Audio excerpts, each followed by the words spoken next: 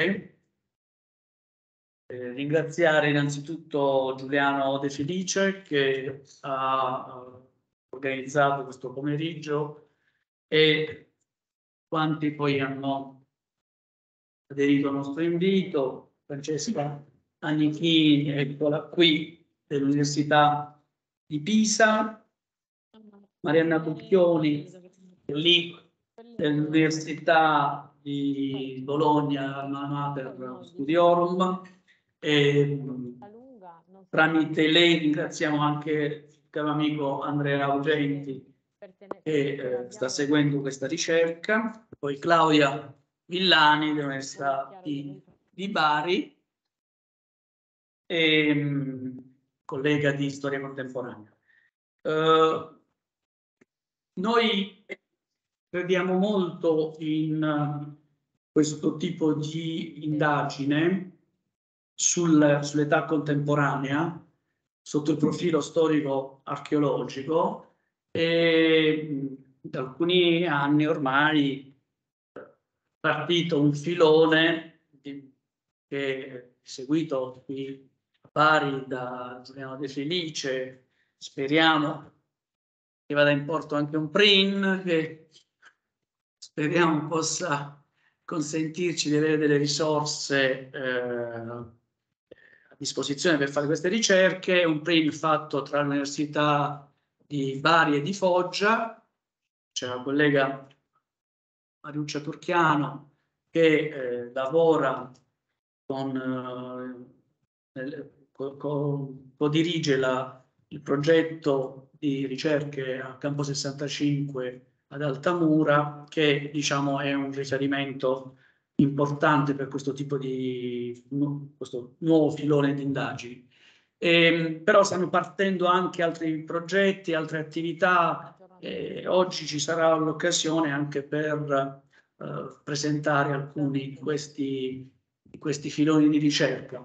Per noi è molto importante dal punto di vista archeologico affermare l'adozione dei metodi dell'archeologia per indagare anche le fasi più vicine a noi, quelle dell'età moderna e appunto del contemporaneo, sostanzialmente del Novecento, affermando ancora una volta appunto la centralità del metodo, dei, dei metodi dell'archeologia, eh, in riferimento a tutti i periodi dell'epoca, de, diciamo dell'evoluzione umana.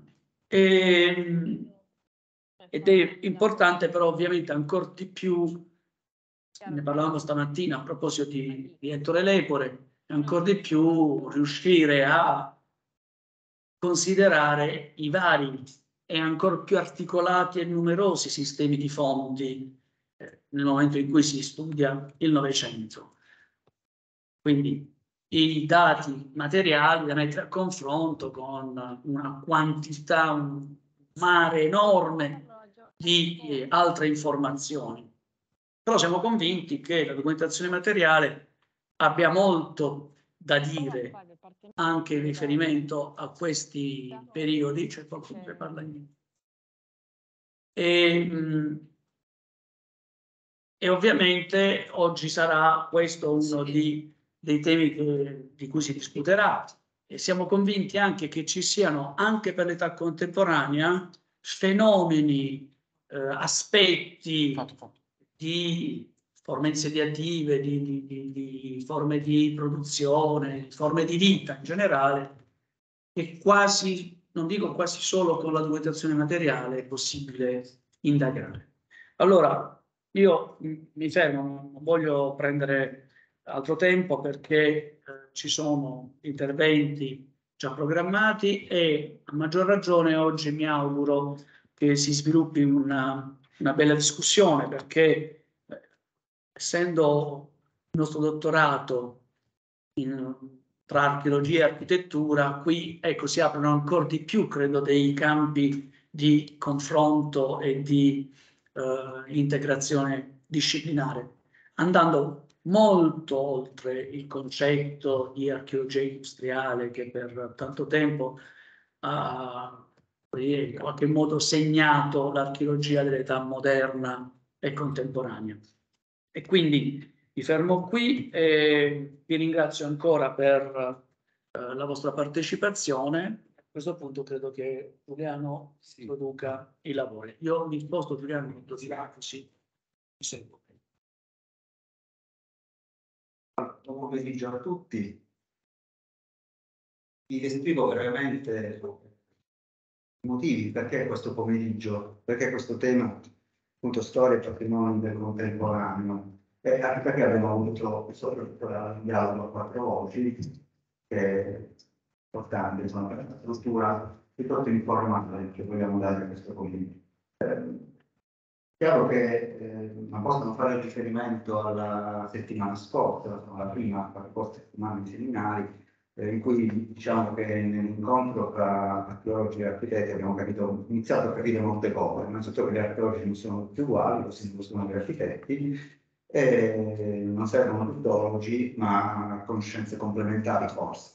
Eh, più probabilmente sembra esserci bisogno di un intero spazio completamente nuovo cui incontrarsi, eh, non solo per contaminare i saperi, ma anche per creare qualcosa, qualcosa di nuovo. Eh, mi piace pensare, eh, sono una parola che ho studiato molto, ma che è tornato anche in questi giorni, bisogna costruire un sistema di relazioni, ehm, che è appunto un termine che è tornato spesso, cioè accostare archeologia, paesaggio, progettazione, conservazione, tutte parole che, che sono venute fuori in, queste, in, questi, in questi, seminari, dicevo, sono contaminazione con dovuti alla duplice natura di questo dottorato, eh, appunto eh, possiamo unire tutto il concetto comune di relazione. E, ed è questo l'approccio giusto per provare a costruire quello che all'inizio Manacorda aveva definito eh, uno spazio disciplinare comune, che può essere un termine molto generico che dobbiamo riempire di, di contenuti. Ehm, quello che facciamo nello specifico oggi pomeriggio quindi è provare a raccontare un'archeologia diversa, non antagonista, semplicemente un'archeologia altra, che magari in Italia per esempio non è ancora molto diffusa, ma eh, lo facciamo perché pensiamo che eh, questo abbia una forte ricaduta anche su quel dialogo, che non può essere solo racchiuso i problemi di conservazione, di, di presentazione del patrimonio archeologico all'interno della progettazione, ma che in un pensiero altrettanto maturo, come si, si, parlava, si parlava negli scorsi giorni, consideri anche tutte le possibili dimensioni dell'archeologia. Eh, questa mattina, tra l'altro, Luciano Campora ricordava la visione crociana famosissima e giusta, appunto, che qualunque storia non può essere contemporanea, sappiamo bene che qualunque archeologia non può non essere contemporanea. Quello che faremo oggi però anche e soprattutto gli interventi delle, delle colleghe che parleranno oggi, credo possano dare un dettaglio eh, molto chiaro di quello che intendiamo per l'archeologia diversa, l'archeologia più ampia. Ehm, che qualche minuto che cos'era quella contemporanea, un giorno lo capiremo, però possiamo dire, per certo, prendere le parole che proprio Giulio, Giulio Volpe eh, diceva l'altro giorno, semplificando l'archeologia come composta da una metodologia che contempla troppi tipi di fonti diversi e ha una lunga durata delle cronologie, soprattutto senza gerarchie tra di esse. Quindi questo è un dato importante, lo sa qualunque archeologo quanto scala, che non c'è tutto di fermarsi che sia migliore di un altro se non va da una strategia di intervento che è molto più complessa, è semplice trovare o andare, andare a cercare. Eh, diciamo che ehm, possiamo mettere la presentazione. Eh, diciamo che ehm, quello che facciamo oggi quindi è provare, proviamo a tendere questo, questa, da questo filo fino al contemporaneo e capire, provare a capire cosa succede quando si fa archeologia dei tempi recenti. Perché si può fare archeologia dei tempi recenti, le tecniche e le metodologie sono in gran parte le stesse, però qualcosa cambia. Sì, sì. Innanzitutto dobbiamo, io credo, eh, capire che ci può essere un doppio significato dietro la parola archeologia contemporanea eh, o archeologia dell'età contemporanea perché già nella, nella denominazione nessuno si, si sognerebbe di dire archeologia dell'età romana, archeologia dell'età greca, però se io dico archeologia contemporanea, non si capisce se sto parlando dell'archeologia che facciamo noi archeologi o della lettura materiale del, del XX e del XIX secolo. Però al di là di questo, al di là diciamo, dell'aspetto del significato, c'è anche un punto più, profondo che fare archeologia contemporanea come vuol dire io credo due cose, o fare archeologia dell'antropocene, se ne parla da ieri, è stato introdotto per la prima volta questo termine che gli archeologi portano molto, ma, ma eh, pertiene più ad altre discipline, quindi fare archeologia di un mondo molto particolare, è un mondo diciamo, pieno di tensioni e di energia. Eh, rispetto al mondo che stava prima, piccola provocazione, che vuole che tutto sommato la tecnologia che spingeva Ulisse a tornare in base a quella che era guidato le grandi spedizioni del 600 Magellano, tutto sommato era la stessa. Navi a vela, certe evoluzioni importanti, ma nulla di paragonabile a quello che è successo dopo, quando dopo la rivoluzione industriale, quando è cominciata quell'accelerazione vertiginosa che ha portato oggi alle soglie del parossismo, diciamo, forte della fine delle civiltà, non ne parliamo di questo ovviamente. Quindi può essere questa l'archeologia, può essere no questa l'archeologia Bertismania, su un sito così, che può far capire qualcosa, perché cosa è successo nel Novecento che l'uomo ha imparato a creare in un istante un sito archeologico. Bertismania invecchiata nel corso di un lento abbandono, Hiroshima distrutta in un centesimo di secondo nell'agosto del 45. È un sito archeologico uguale, impressionante, ma sembra rivedere la pianta di una città sepolta, che ovviamente sepolta non è. Al di là di questo c'è anche un altro modo di concepire l'archeologia del contemporaneo, che è l'archeologia relativa, cioè ciò che è prossimo, ciò che è vicino a noi, e quindi è strano perché riguarda il nostro passato, se parlo del Novecento, parlo all'inizio del XXI secolo, le fonti di questo passato, oltre ai resti materiali, sono non le fonti scritte, non i libri, ma sono i giornali, sono le cronache, sono i video, sono le fotografie da satellite, sono una serie di oggetti di documentazione che diventano importantissimi per la costruzione diacronica, come dicevamo, con una metodologia complessa che ci porti a ricostruire la storia, la storia del materiale del passato. D'altronde appunto qualcuno voleva, pensava che sia arrivato alla fine della storia, no? ma poi capito che non aveva ragione, e che anche la teologia non, non è certo arrivata alla fine, perché la, la creazione di tracce continua. È chiaro che dal punto di vista del metodo potremmo parlarne per ora, non la sede sicuramente, perché vedremo fra poco, fra le altre parlo di quello che, che farò vedere io, vedremo lo scavi, l'unità grafico, fotointerpretazione, rilievi, vedremo metodologia archeologica, eh, che assumerà valore diverso in alcuni casi perché la cronologia sarà molto breve, la distanza tra le fasi sarà molto breve, perché potremmo usare fotografie aeree come se fossero unità stratigrafiche, che non sono i segni del passato, ma sono i segni del presente. Però la cosa che interessa di più, su cui spero che poi dopo un primo giro di interventi potrà seguire un giro di, di, di commenti e anche qualche, magari qualche altro spunto, è quella che possiamo definire l'aspetto patrimoniale che è un termine eh, che può anche non andare a tutti, no? per esempio, vedete fra, fra 5 minuti il vecchio di Francesco, chiaramente non un patrimonio? Però questo è importante perché non si può pensare a un'archeologia senza un patrimonio archeologico. Però che cosa vuole dire questo? Come si fa a riconoscerlo, a identificarlo, a dare un valore, a trovare una etica, anche una parola di cui abbiamo discusso spesso in questi giorni, è tutto un altro problema. E ehm, per fare tutto questo ci sono come appunto gli ospiti, anzi le ospiti di stasera, eh, che portano visioni e progetti concreti su questi temi. Eh, quindi davvero abbiamo provato a immaginarci una struttura agile, su cui ci scambiamo la parola con interventi di 20 minuti, e, e, e sperando di suscitare una, una bella discussione. Eh, magari poi presentiamo di volta in volta come già Giulio ha un po', un po presentato, però io eh, quello che voglio fare adesso è semplicemente entro un attimo in un breve intervento in cui facciamo, faccio qualche, qualche esempio di quello, di quello, che sto dicendo. Il campo 65 è stato già chiamato in causa, è un progetto che stiamo seguendo da, da ormai qualche anno, nel 21 e nel 22 all'Università di Bari e all'Università di Foggia, un'equipe diretta da me dalla collega Annele Turchiano, abbiamo realizzato campagne di scavo archeologico, come sanno molti dei presenti in questa, in questa sala, i dottorandi e anche degli studenti della specializzazione in archeologia di Bari che ci hanno raggiunto oggi. Eh, campo 75 cos'è? È uno dei campi di prigionia dell'Italia fascista, costruito all'inizio della seconda guerra mondiale, il più grande per estensione, una città.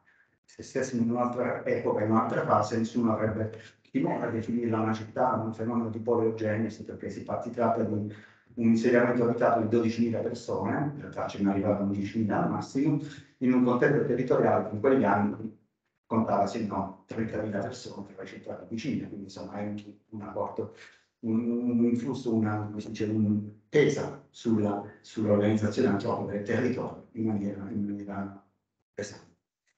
E tra l'altro appunto è un sito che conosciamo benissimo dalle fonti, no? Conosciamo benissimo dalle fonti, conosciamo abbiamo anche addirittura mia idea il progetto da Vercera, eh, pensate che un sito archeologico è una cosa del genere, tutti fregano le mani, Peccato che sia completamente sbagliata, perché poi quando andiamo a scavare, a rivedere le cose, torna pochissimo di questo. Quindi cos'è?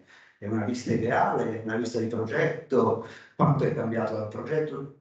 All'aumentare delle fonti non aumentano le certezze, ma aumentano i dubbi. Quindi ogni documento così preciso ti fa nascere più domande di quelle che ti a cui ti danno risposta. Ma questo è la parte interessante, quindi un sito conosciutissimo, troppo conosciuto. Questa è una foto del 2 settembre del 43, 2 settembre del 43, cioè siamo prima dell'armistizio, il campo si è già svuotato, questo è un campo già fantasma, cioè i 10.000 prigionieri sono scappati, sostanzialmente non c'è più nessuno, però perfettamente evitato.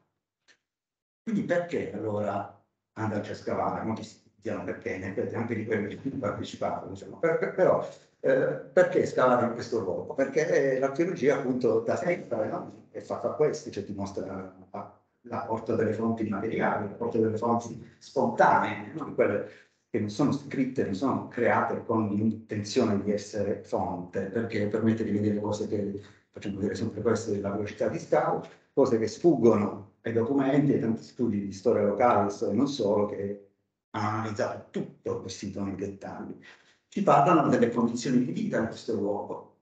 Ci parlano, per esempio, non mi dilungo per niente, eh, questa è la sede, scavando le cucine, ci parlano di, fanno capire come si vive in queste cucine che sono pulite, no? sembra che non abbia cucinato nessuno, in realtà avrebbero dovuto cucinare 3.000 pasti al giorno per due anni, insomma, eh, è un problema archeologico, questo è interessante, credo. Eh, ma soprattutto scaviamo un sito, capiamo le strutture di, di, con dei confronti, ovviamente ci sono dei confronti incredibili, capiamo le fotografie, le strutture di tortura, possiamo paragonarle a quelle di altri campi di prigionia. La cosa interessante è che ci dà il senso del passare del tempo, delle fasi. L'archeologo, scavando questo, questo, questo, questo luogo, ha riconosciuto le tracce delle fasi. Per esempio, in questo, in questo punto la trasformazione di una grande baracca in piccoli alloggi, queste con le, con le murature rosse, che sono relative al momento in cui, dopo la fine della guerra, gli scappati prigionieri, il campo fu trasformato in centro raccolta profughi per gli italiani visti dal Mazia del Nord, Nord Africa, del Dodecaneso che tornavano in Italia alla fine della guerra e che vengono eh, alloggiati temporaneamente qui in altri campi d'Italia, in Puglia, piccole riunioni, quelle abitazioni e circa 15 metri quadri per una famiglia di quattro persone.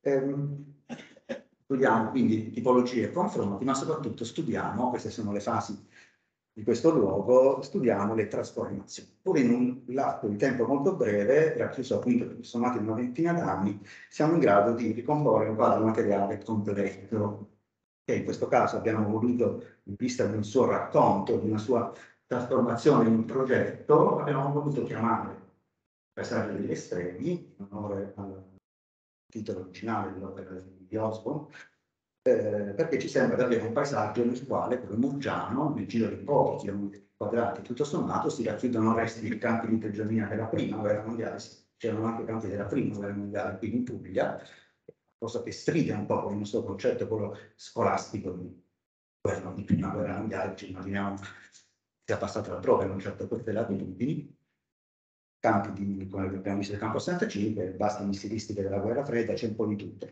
Eh, questo è un caso in cui si può, tutto sommato, capire facilmente eh, come questa stratificazione, se ne è parlato anche in questi giorni, appunto, di, di fasi, non siano una prerogativa dei tempienti poter sepolto, ma possono essere anche nascosti da pochi centimetri di terra, comunque eh, visibili anche sulla superficie dell'interfaccia de, dei giorni nostri.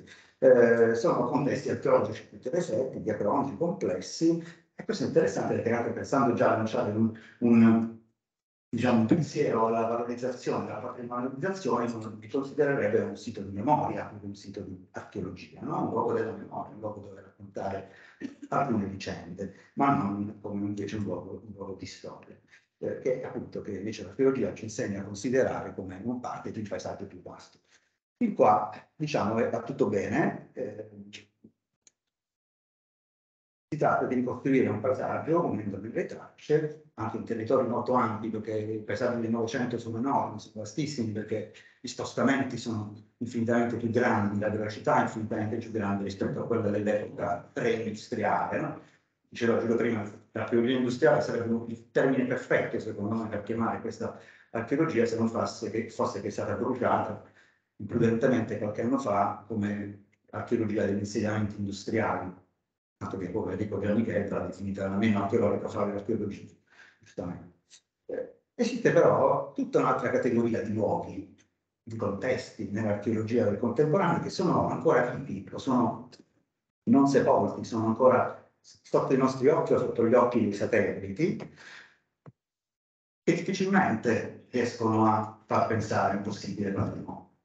Sembrerebbero quindi non archeologici. Per esempio, i ghetti dei braccianti, i ghetti dei braccianti del Tavoliere, della, della Piana di Rosano, o di tanti altri luoghi della Spagna, dell'Italia del Nord, ce ne sono comunque.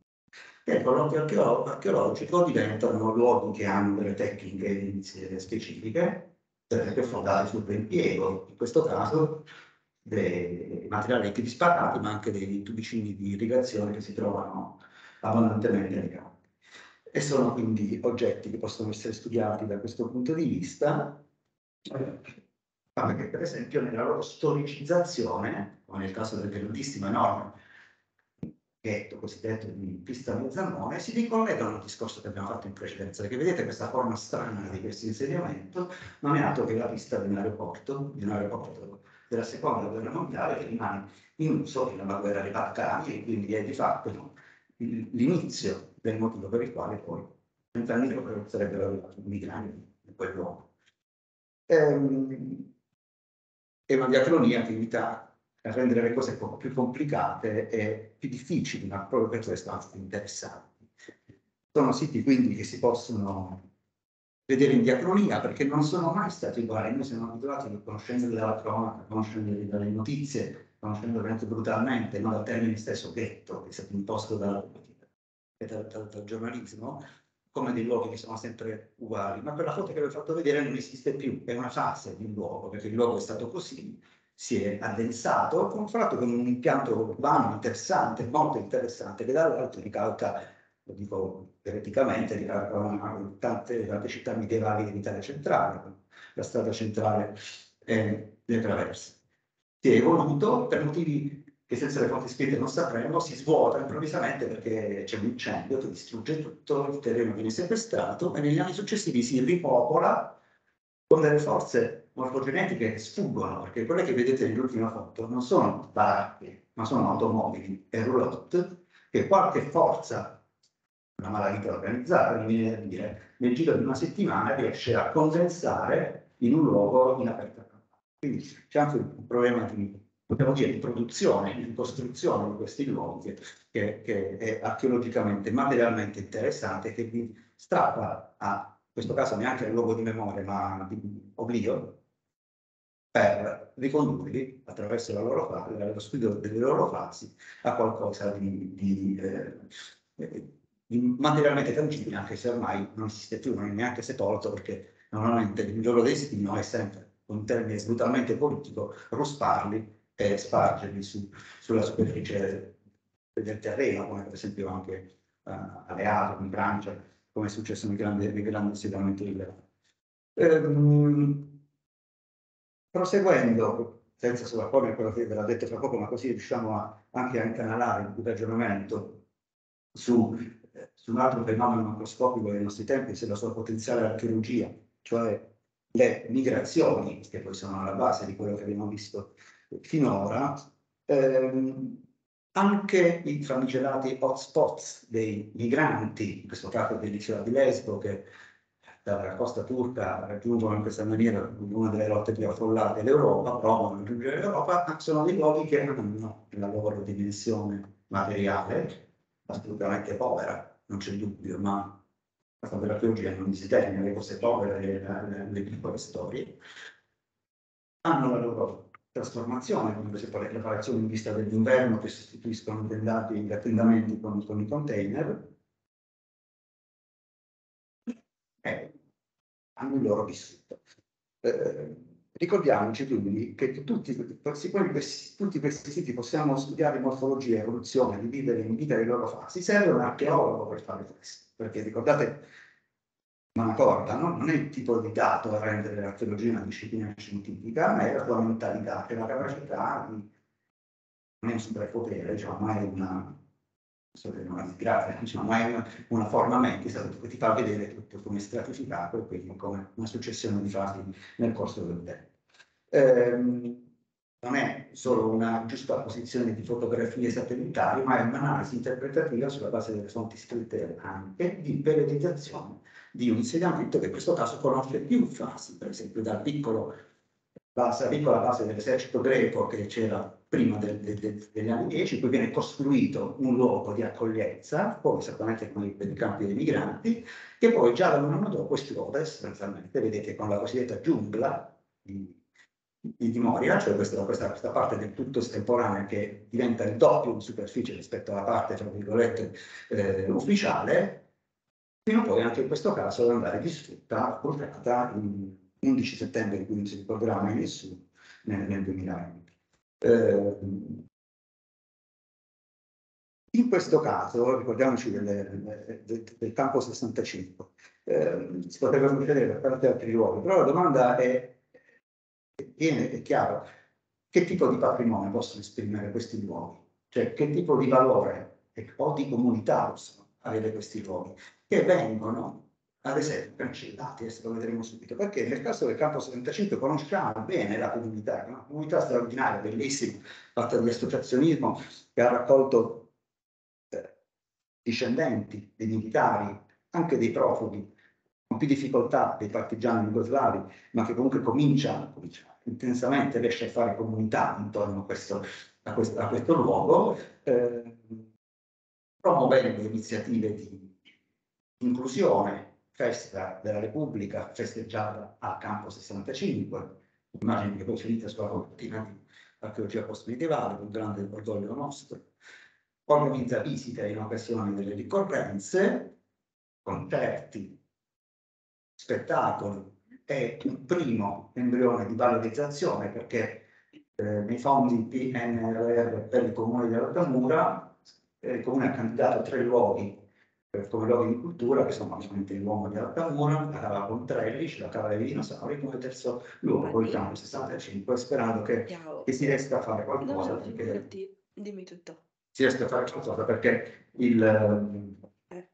abbiamo tutti quali problemi della capacità di mm. spesa del, dei, dei comuni, dei piccoli comuni. Um,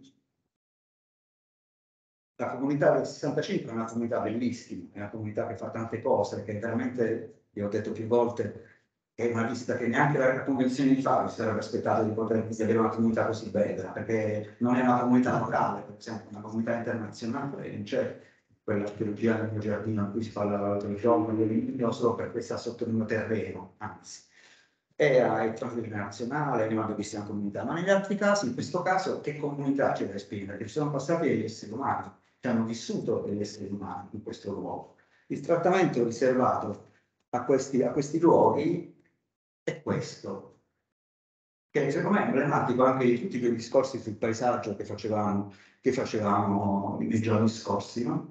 Cioè, questo è quello che vedete se disattiviamo la funzione history da Google Earth eh, o, o se apriamo semplicemente Google Maps. È una dannazione di un pezzo di storia che se, se lo guardate con la funzione non è provato a guardarlo io, non è la cancellazione, sono, ci sono due mesi di differenza tra una foto e l'altra. quindi gli olivi non sono cresciuti, non c'è tempo per far crescere gli olivi.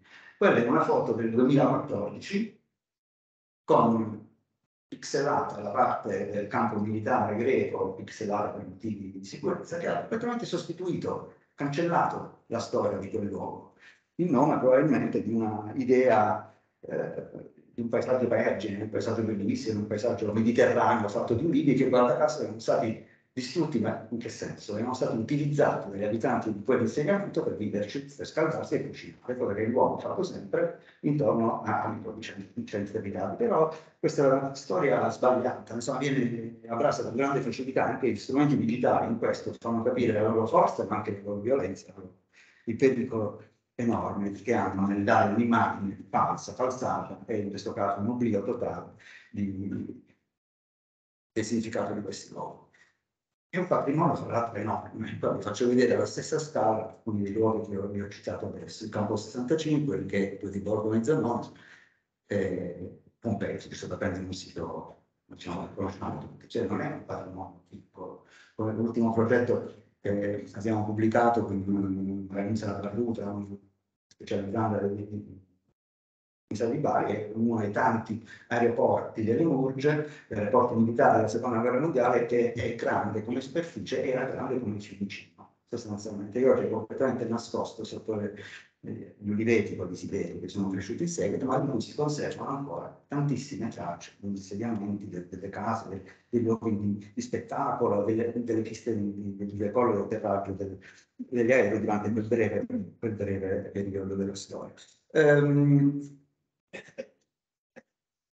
io ehm, mi fermerei qui per, per, il momento, perché eh, poi magari riusciamo a, a parlare anche, anche d'altro in, in, un secondo giro. Eh, adesso credo che sia giusto passare la parola agli altri temi che potranno soltanto arricchire anche, eh, anche questo quadro che ho provato a tracciare in questo, in questo momento.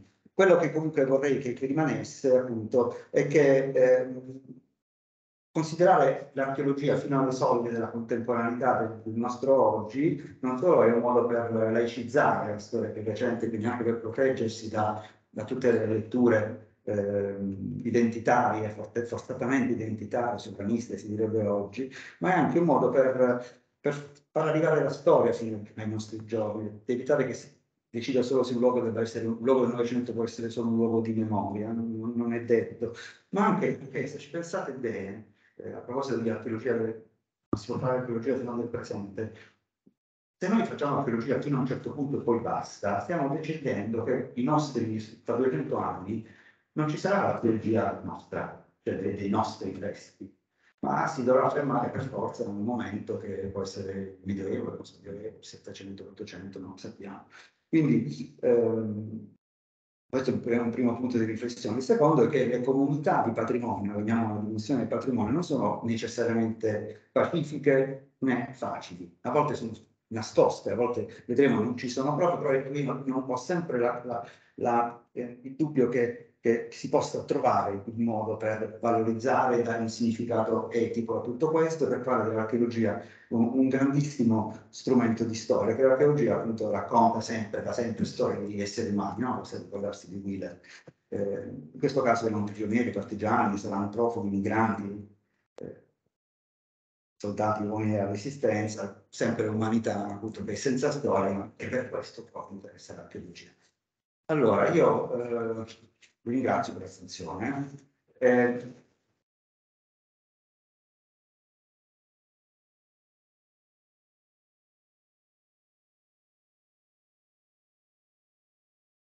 allora, adesso come?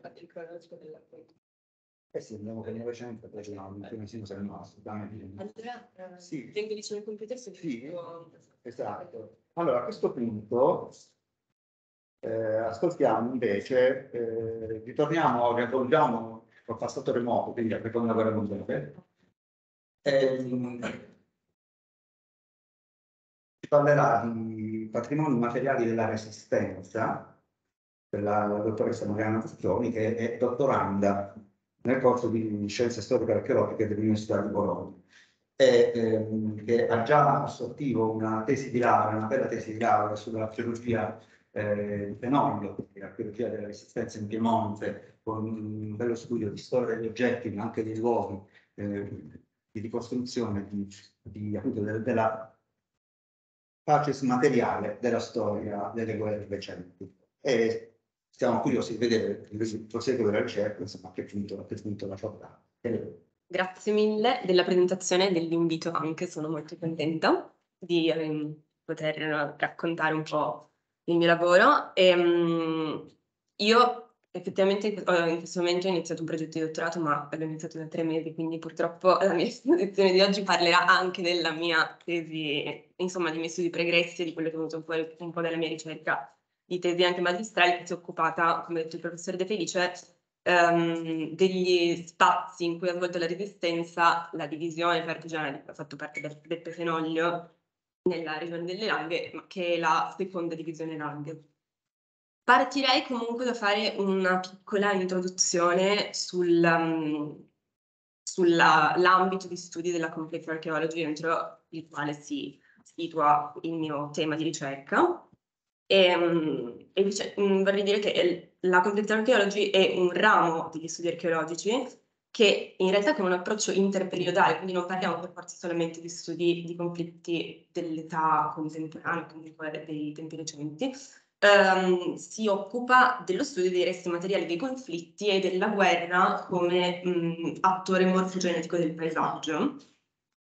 Oggi in particolare sì, mi concentrerò solamente su, mh, sulla storia di conflitti che mh, si situano all'interno dell'età, contemporanea. Un concetto complesso, comunque um, parleremo dei conflitti del Novecento. E um, possiamo un po' indicare come uh, progetto aprifila di questo tipo di studi il Defense Britain Project, che è un progetto di ricerca che si è svolto tra il 1995 e il 2004 nel Regno Unito con l'obiettivo di censire le strutture costruite come opere di difesa tra gli anni 1940 e 1941, quindi un periodo di soli due anni, uh, nel Regno Unito e il progetto è stato coordinato dal professor John Schofield e uh, è stato un progetto veramente grosso che ha coinvolto più di 600 persone tra volontari e um, es- esperti operatori del settore dell'archeologia, uh, per un totale di più di 17.000 episodi di ricognizione e di più di 20.000 strutture censite. Stiamo parlando di strutture costruite nell'arco di due anni. Quindi Dopodiché queste strutture sono state catalogate e tutti i loro dati sono stati inseriti in un database consultabile e scaricabile online, interessantissimo.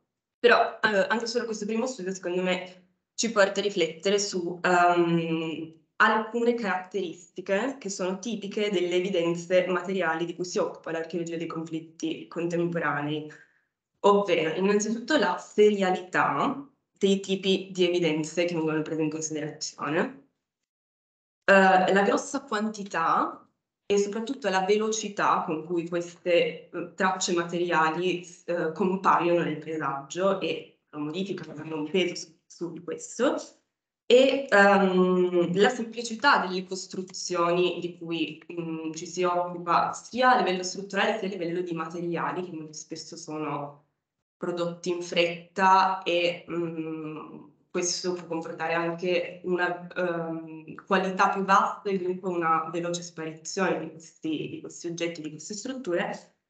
E dunque questa, questa, grossa quantità che stride in realtà con la velocità con cui queste tracce scompaiono nel nostro paesaggio, anche uh, questa velocità dovuta al fatto che um, è tipico della, della presenza della nostra epoca um, che ci siano delle sovrascrizioni e delle modifiche anche architettoniche che interessano il paesaggio, quindi velocemente fanno sparire evidenze che in realtà sono anche recentemente comparse, recentemente nate.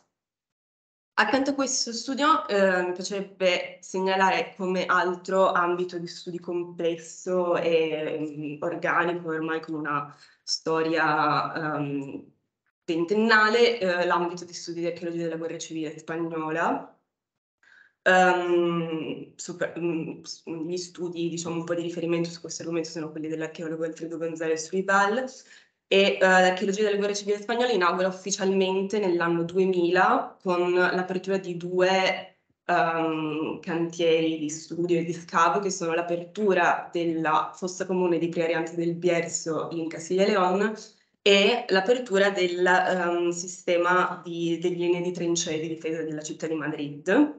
Due scavi Uh, diciamo un po' mh, mm, individuati simbolicamente come apripista di questi studi, perché in realtà le esumazioni delle fosse, comune, delle fosse comuni avvengono a partire dall'indomani della, guerra, della fine della guerra e in particolare aumentano esponenzialmente dopo il 75 con la morte del dittatore e la stessa cosa vale per i sistemi di trincea, soprattutto per tutti quei fenomeni di ricerca dei materiali metallici che rimangono nelle strutture uh, militari di questo tipo. E, um, il, gli studi sull'archeologia della guerra civile spagnola in realtà non, uh, hanno come principali uh, strutture di studio le comuni e le trincee, ma non si concentrano solo su questi. Altri tipi di evidenze di cui si occupano sono i sistemi di rifugio antiaerei, i campi di concentramento di prigionia, i monumenti costruiti durante il franchismo, con un obiettivo uh, che è quello di restituire un quadro complesso e complessivo del paesaggio della guerra civile. Um, potrei citare al- diversi altri esempi di studi che si conducono in Europa sul- sui conflitti contemporanei, ne vi mostro due pubblicazioni che secondo me sono importanti, che sono uh, quella sull'archeologia nei luoghi dello sbarco um, in Normandia, che è una ricerca che sta conducendo l'Università de Bordeaux-Montaigne, e um, il, la, il, complesso degli studi sull'archeologia dell'Olocausto, um, che si conducono soprattutto in, ovviamente in Austria, Germania e Polonia, in particolare due campi uh, chiave di studio di questo tema sono il campo di Treblinka e il campo di Auschwitz-Birkenau in cui ha lavorato l'Università di Stanford. In Italia questo tema a che punto è? Um, in realtà si, um, io mi sono concentrata soprattutto su, sugli studi per adesso sulla prima e sulla seconda guerra mondiale eh, nel nostro paese e facendo un'analisi del totale degli articoli pubblicati sulla rivista Archeologia Postmedievale rispetto al numero di articoli che trattano di questi due temi, ho notato questa cosa. Vabbè, intanto che la, mh, gli articoli che si occupano di questi argomenti non sono tantissimi in uh, confronto al totale delle tematiche trattate dalla rivista. Inoltre c'è, stata una particolare concentrazione uh, sul tema della prima guerra mondiale intorno all'anno 2018, che tra l'altro è il centenario alla fine del primo conflitto, e um, alcuni sporadici episodi di, um, de, uh, rispetto al tema della seconda. In ogni caso qualche pubblicazione di riferimento c'è, e per la prima uh, mi sento di segnalare gli studi del, um, di Franco Niccolis e di Marco Balbi che sono, um, fanno parte della soprintendenza dei beni archeologici della uh, provincia autonoma di Trento, che sono occupati soprattutto della questione della guerra bianca sulle Alpi e uh, per quanto riguarda la seconda, lo studio, mh, più, lo studio principale più completo è quello del professore De Felice, di cui non dirò niente abbiamo appena parlato. E comunque i temi sono il, il 65, le basi statistiche della Nato, insomma questi argomenti che abbiamo appena visto.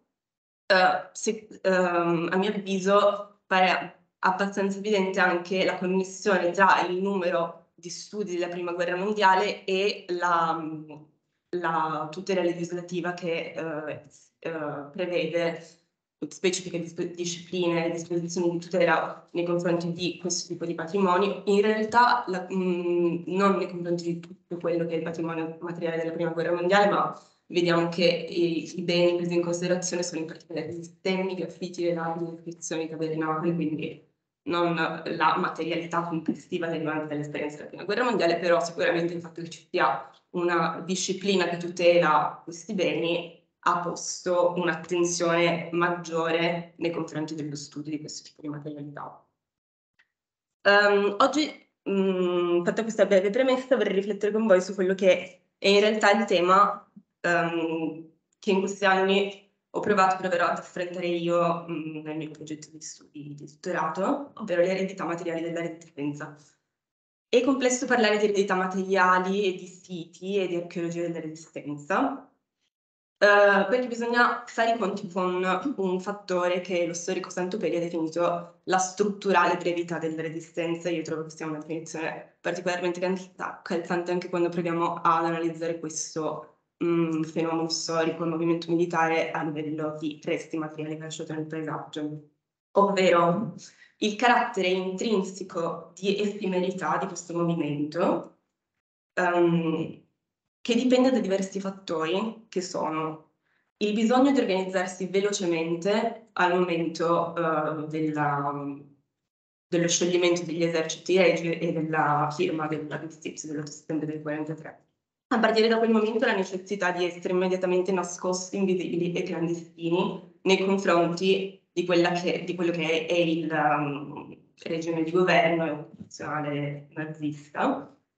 È un movimento autogestito all'inizio, per quanto monitorato e organizzato da un organo coordinativo del CLN, però in realtà questa organizzazione e coordinazione entra effettivamente mh, in uno stato operativo più, a, abbastanza tardivamente a partire dall'estate del 44. Inizialmente le divisioni partigiane si trovano a um, gestirsi, organizzarsi, organizzare i loro rapporti anche in maniera abbastanza autonoma e quindi fluida e almeno inizialmente autofinanziata. Dunque le risorse non sono mh, mm, abbast abbastanza consistenti da permettere ad esempio di costruire delle strutture militari, no. Detto questo, per quanto transitoria e effimera, una guerra come quella della resistenza al fascismo ha lasciato delle cicatrici nel paesaggio, molto spesso sovrascrivendosi ad altre storie e su evidenze materiali che esistono prima del dell'avvento della resistenza. Altre volte invece vedremo un caso producendo nuove strutture spaziali e comunque sempre nuove percezioni e mh, mm, modellazioni del paesaggio in funzione delle operazioni ehm, legate alle, alla insomma, alla resistenza al fascismo, ehm, sempre aggiungendo una nuova fase e un nuovo strato alla storia dei siti in cui agisce. Uh, ora vi racconterò di due casi studio, eh, entrambi legati a, alla storia della divisione delle seconde langhe, che um, agisce in un territorio uh, intorno alla città di Alba che si distribuisce a cavallo tra le province di Cuneo, Asti e Torino. Partirei dal caso di Excelsior, che è stato uno dei tre aeroporti partigiani costruiti nel nord Italia, Uh, è stato costruito a Vesime, che è un paesino in uh, provincia di Asti, e a partire dal settembre del 1944 ha coinvolto nei lavori di costruzione um, la missione alleata che stava in questo territorio comandata dal maggiore Temple e uh, i partigiani della seconda Langa appunto e a partire dal novembre del 1944 è stato attivo come vista di atterraggio perché erano alleati. Um, il periodo dell'inverno del 44 poi è un periodo molto complesso per le formazioni partigiane, um, le, le, attività addirittura nel dicembre vengono diciamo, uh, invitate ad interrompersi dal programma Alexander e um, il campo di atterraggio viene preso dai fascisti, ma torna attivo poi nel febbraio in mani partigiane e sarà un, un, un aeroporto di importanza cruciale anche per le operazioni di liberazione. Infatti il 14 aprile atterreranno in questo aeroporto i fotografi e i giornalisti che dall'Inghilterra documenteranno poi la liberazione in Italia. Um, è interessante che sia stato costruito in questo vicino questo piccolo abitato perché gli altri due aeroporti partigiani del nord Italia nei, eh, si trovano nei pressi di Firenze e di Belluno, quindi si appoggiano a dei centri abitati eh, consistenti, grossi. In questo caso la scelta ricade su questo territorio perché qui vicino c'è l'ospedale di Corte Emilia, che è l'ospedale partigiano più grosso del Piemonte, e dunque per gli alleati questa scelta ha una duplice funzione. La prima è quella di um, um, avere la possibilità di controllare più facilmente i lanci, che prima, che nel caso in, cui non ci sia una struttura da appoggiarsi, vengono effettuati tramite questi container che sono lunghi un paio di metri e pesano tantissimo, quindi quando vengono lanciati dagli aerei um, c'è sempre il rischio che provochino dei danni cadendo nei punti in cui non si vuole che, che cadano, che vengano intercettati dal nemico, che vadano persi, insomma avere una, un appoggio in cui trasportare dei beni che vengono mandati con i lanci è sicuramente una sicurezza in più, soprattutto quando si tratta di beni che devono finire in questo ospedale militare. E inoltre appunto c'è questo motivo dell'ospedale di Cortina. Va bene, dopo la guerra questo spazio viene completamente abbandonato e torna ad essere un campo coltivato a vite come quasi tutte le territorio delle Langhe. Finché nel 2010 un, um, un movimento di richiesta dal basso eh, di persone che sono ex partigiani della zona oppure familiari richiedono al comune di Vesime uno spazio per um, dare voce alla memoria della, della Repubblica Partigiana e um, il comune accorda uno, una saletta nella, negli spazi comunali in cui viene, uh, si crea un allestimento museale uh, in cui si racconta la storia della Repubblica Partigiana. Mm, la cosa che a me ha colpito quando mi sono imbattuta in queste vicende è che in realtà nel posto in cui c'era la pista di atterraggio non c'è assolutamente niente che segnali questa, questa storia e l'allestimento museale non dice dove si trovasse effettivamente questa pista. Ho consultato ovviamente numerose pubblicazioni che parlavano delle storie di questo aeroporto e nessuna diceva l'aeroporto si trovava alle coordinate XY, proprio era impossibile trovare dove fosse questo finché non mi sono imbattuta in una serie di fotografie aeree, in realtà non tantissime, che però eh, in, in, facendo un'intersezione tra la fonte fotografica e le fonti scritte che avevano lasciato i partigiani che avevano partecipato alla costruzione, che quindi dicevano che l'aeroporto si trovava lungo um, il corso del fiume Bormida nei pressi di Nansa, sono riuscita a individuare quale potesse essere, secondo me, l'ANSA a cui si riferivano e molto fortunatamente uh, con Google Earth ho capito che l'ANSA è, poteva essere rimasta stabile, nel senso che secondo me da queste due fotografie si vede che il uh, territorio abbastanza potrebbe essere quello che in Mi sono recata sul luogo e ho scoperto che accanto a questo campo c'è un edificio, che è un'azienda vitivinicola che ho inquadrato dal posto, e um, questa azienda esiste da prima della guerra e nella memoria familiare delle persone che portano avanti questo esercizio, uh, si tramanda il fatto che il um, campo di fronte all'azienda dall'altra parte del fiume fosse quello della pista di atterraggio. Quindi mi ci sono recata percorrendo delle strade sterrate e dove c'è un cerchio rosso, c'è un pilone della luce in cui c'è una targhetta di 20 x 30 cm che dice qui c'era l'aeroporto partigiano. Insomma, secondo me è interessante notare come uh, la memoria storica di Excelsior sia stata tramandata, cioè sul museo c'è stata una richiesta da parte della comunità che voleva eh, riconoscere il valore di questa esperienza, ma la, la memoria materiale, la memoria dei luoghi no, assolutamente non c'è stato un processo di um, attenzione e riconoscimento di, dello spazio fisico, insomma, del posto. Secondo episodio, secondo esempio.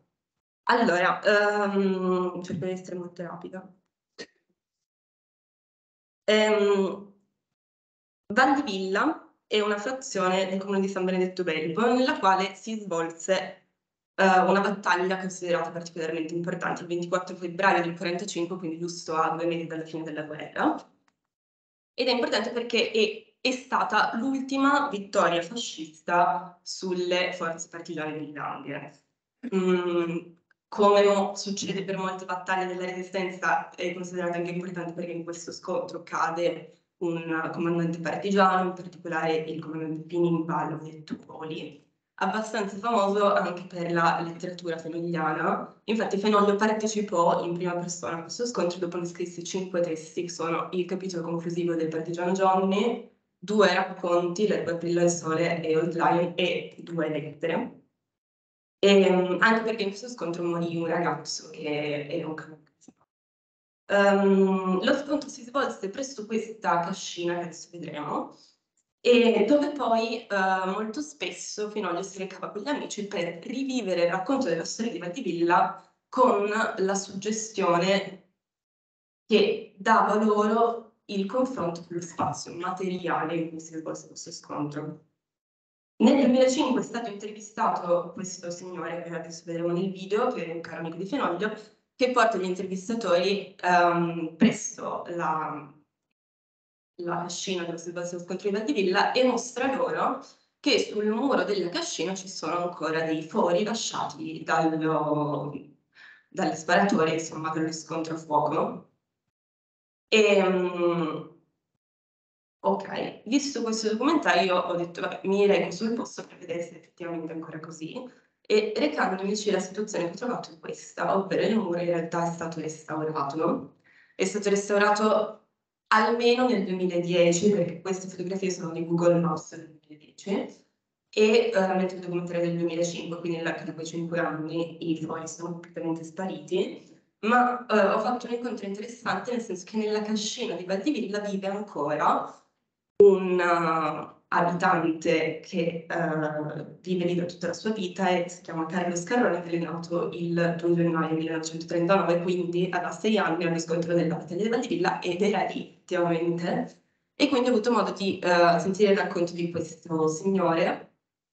Qui dovremmo aprire una parentesi gigantesca sulla questione delle fonti orali, ovviamente molto complicata, e la, la narrazione di queste persone sicuramente um, porta con sé una memoria di secondo grado, tra virgolette, perché lui ha vissuto questo evento da molto giovane, quindi il suo ricordo sarà mh, stato influenzato anche dal racconto delle persone adulte che diciamo, vissuto l'esperienza con lui e anche dal fatto di aver raccontato 100.000 volte questi 90 anni di vita.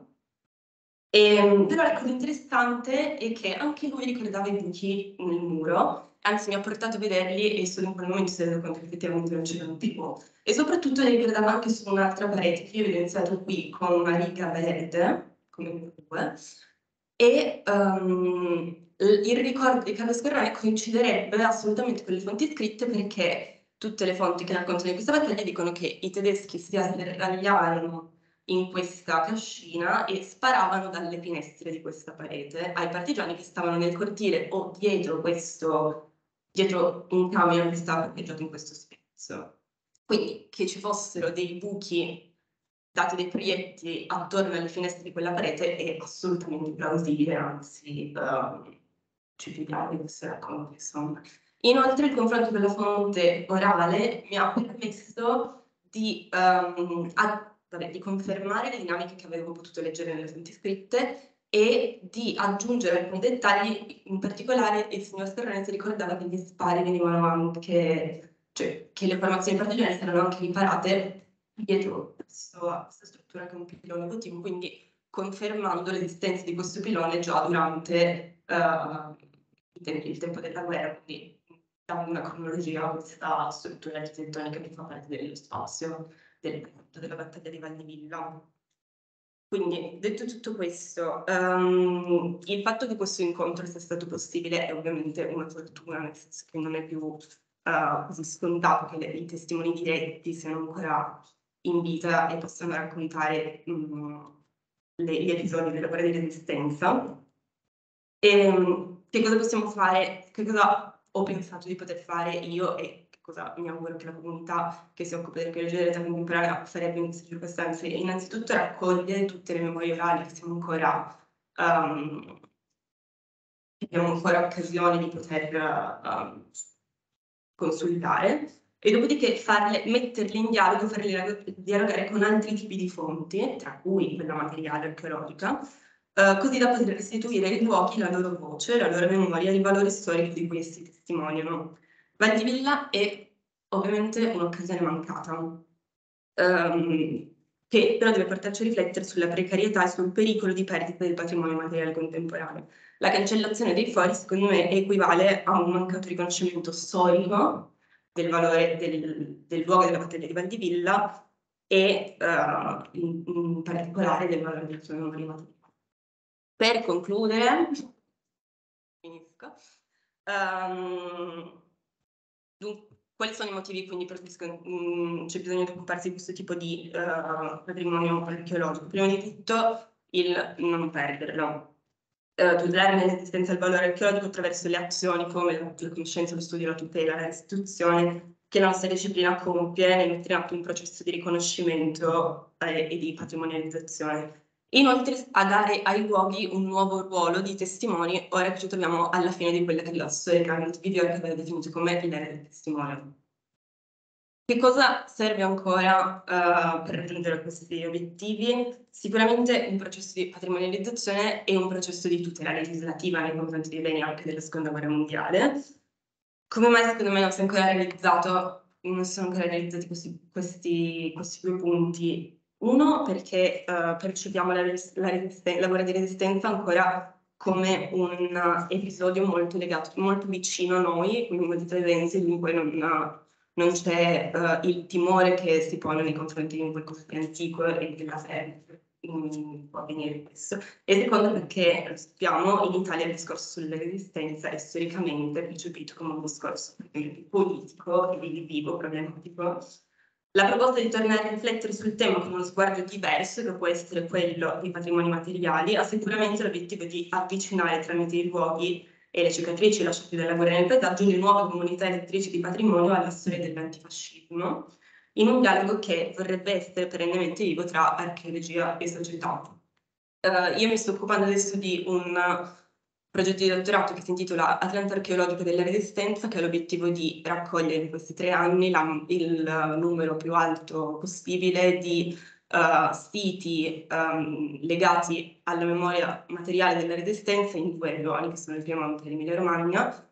Ovviamente è un progetto grosso e non, uh, in, in realtà difficilmente estinguibile, però uno dei piccoli obiettivi che mi sono posta e che mi piacerebbe mettere in atto è quello, alla fine di questi tre anni, di creare una piattaforma online attraverso la quale le comunità locali e i singoli cittadini possano segnalare siti uh, che loro conoscono in cui ci siano um, resti, uh, resti materiali, um, modifiche al paesaggio che risalgono ai tempi della resistenza e uh, dopodiché auspico che ci sarà un, un, gruppo di ricercatori, un team che si occuperà di vagliare queste proposte e uh, inserirle uh, sulla piattaforma nelle voci della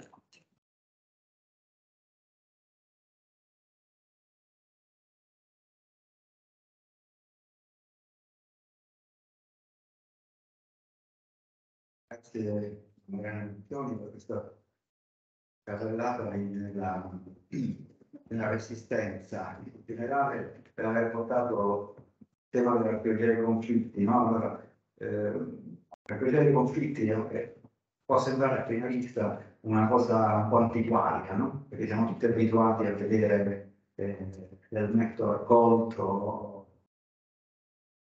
Ci sono però almeno due considerazioni su questo. Uno che anche l'archeologia, quella vera, diciamo così, è passata attraverso la fase antiquaria ed è lentamente cresciuta fino a diventare disciplina scientifica, quindi anche noi lo saremo presto. Poi che si debba fare un atlanto delle forme per farlo, questo non so, ne potremo discutere.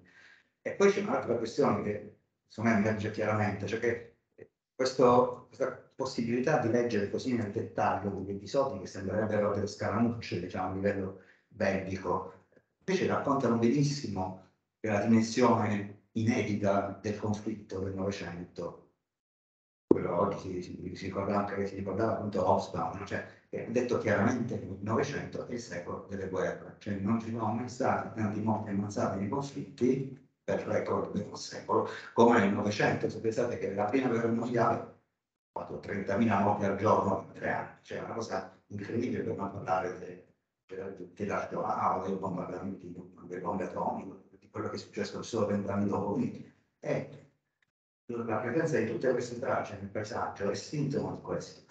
Eh, a me è un pezzo di quale. Eh, ci sono degli elementi su cui proprio vale la pena discutere anche dopo, per esempio il tema della conservazione. No? È chiaro che non si può conservare, si può conservare tutto, proprio, proprio la, la, grande pressione che fa l'archeologia contemporanea in generale, quella anche una certa serenità nei confronti della documentazione, cioè purché si documenti, se proprio si riconosca un valore, un valore etico a quello che si trova, eh, si può anche lasciare andare, diciamo, a meno che non possa diventi un, un, oggetto che vale la pena, che ha un significato universale, ma questo riguarda solo i siti del contemporaneo, no? ci sono tante, mi riferisco a tanti ritrovamenti di pseudo tesori che ogni giorno eh, appaiono sulle cronache dei giornali che subito puntano alla paralizzazione di qualunque cosa si trova in uno scavo nella periferia della città, che bisogna essere anche un po' realisti e soprattutto avere, allargare eh, più che conservare tutto, eh, dare intatto. Questo, questo, questo è, secondo me è, è fa. Eh, poi magari ne parleremo, se gli spunti non, non, sono certo pochi. Allora, a questo punto eh, ci avviciniamo ancora a noi, per l'intervento di Francesca, che sì, che um, il gruppo, il gruppo di lavoro di Pisa che ruota intorno al Mappalab, ai tempi della, dell'archeologia digitale, era stato diciamo, all'avanguardia, e anche in questo campo ci siamo poi incontrati su entrambi i tipi di specializzazione, questo mi fa molto piacere. E fanno anche progetti di, di archeologia dei conflitti, parlavamo poc'anzi sull'importanza di raccogliere le ultime testimonianze orali di, di, di, quelli che al tempo erano bambini, ma che sono ancora che permettono di trovare i luoghi, ma anche di dare un senso a, a queste cose. Eh, io non dico altro perché già il titolo di per sé credo che darà poi qualcosa di cui discutere. Prego. Devo accendere, ho già acceso. No, eh, buonasera a tutti. Eh, sì, allora, Giuliano, intanto grazie eh, dell'invito e della possibilità di eh, parlare, ma soprattutto spero di discutere dopo eh, di questi temi che comunque eh, in Italia sono ancora a spot, no? Per quanto invece eh, non dobbiamo dimenticare eh, come ci sia una grande tradizione, soprattutto un grande dibattito, un confronto teorico, metodologico e tematico che ci viene del quadro internazionale, insomma, che su questi temi eh, lavora da ormai più di 40 anni.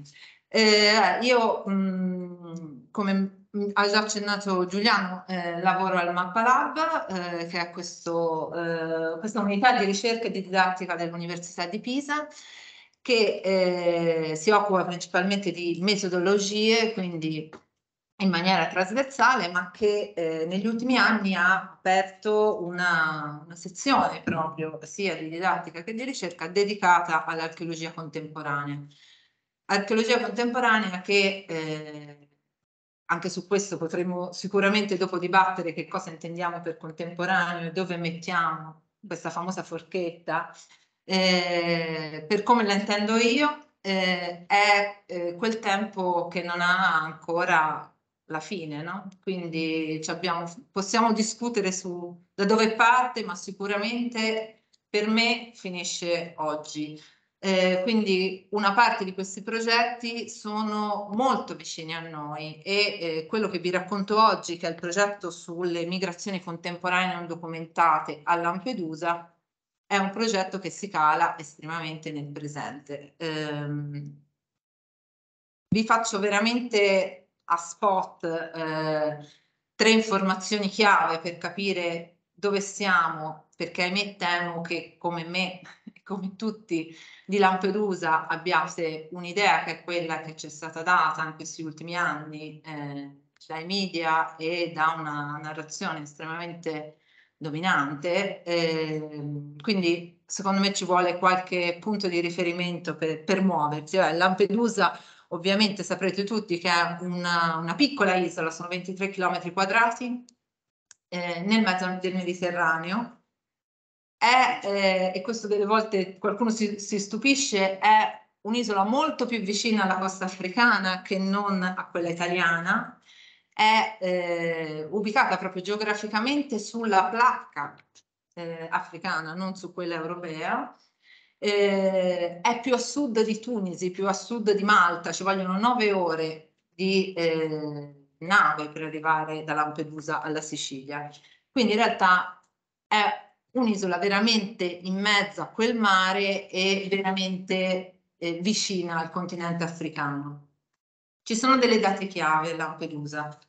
C'è il 1986 che fa scoprire agli italiani Lampedusa, cioè cosa succede, eh, e, e, qui veramente ve la dico in tre parole, eh, Gheddafi eh, bombarda, diciamo così, manda dei missili in una sorta di ritorsione contro un bombardamento aereo fatto dagli Stati Uniti eh, su Tripoli lancia questi missili verso Lampedusa, non colpisce Lampedusa, cadono in mare, va bene, ma questa notizia, questo attacco comunque al territorio italiano, eh, scatena una serie di eh, situazioni. La prima intanto è quello che gli italiani scoprono che esiste Lampedusa, perché fino a quel momento era veramente un'isola spersa, eh, che nessuno conosceva, un'isola che viveva es quasi esclusivamente di pesca, eh, pesca eh, delle spugne e delle sarde. No?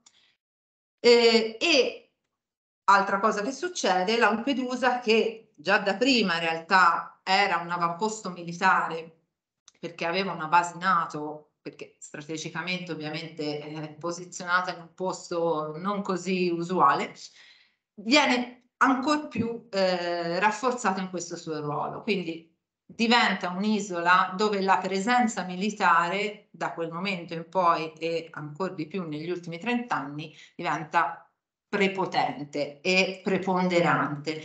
Queste sono le immagini eh, che noi abbiamo eh, scattato e eh, non vi ho portato, ma li potete trovare sul nostro sito, anche i filmati che abbiamo girato eh, sull'isola, dove tutta una serie di aree eh, quindi ricordiamoci 23 km quadrati, c'è uno scoglio come lo chiamano lì, tutta una serie di aree in realtà al momento risultano interdette alla cittadinanza, anche ai turisti, perché sono diventate eh, basi militari, basi militari di, di, tutti i tipi, a Lampedusa c'è tutto, c'è qualsiasi corpo armato ehm, e appunto delle grosse fette sono state in qualche modo espropriate dall'uso comune collettivo.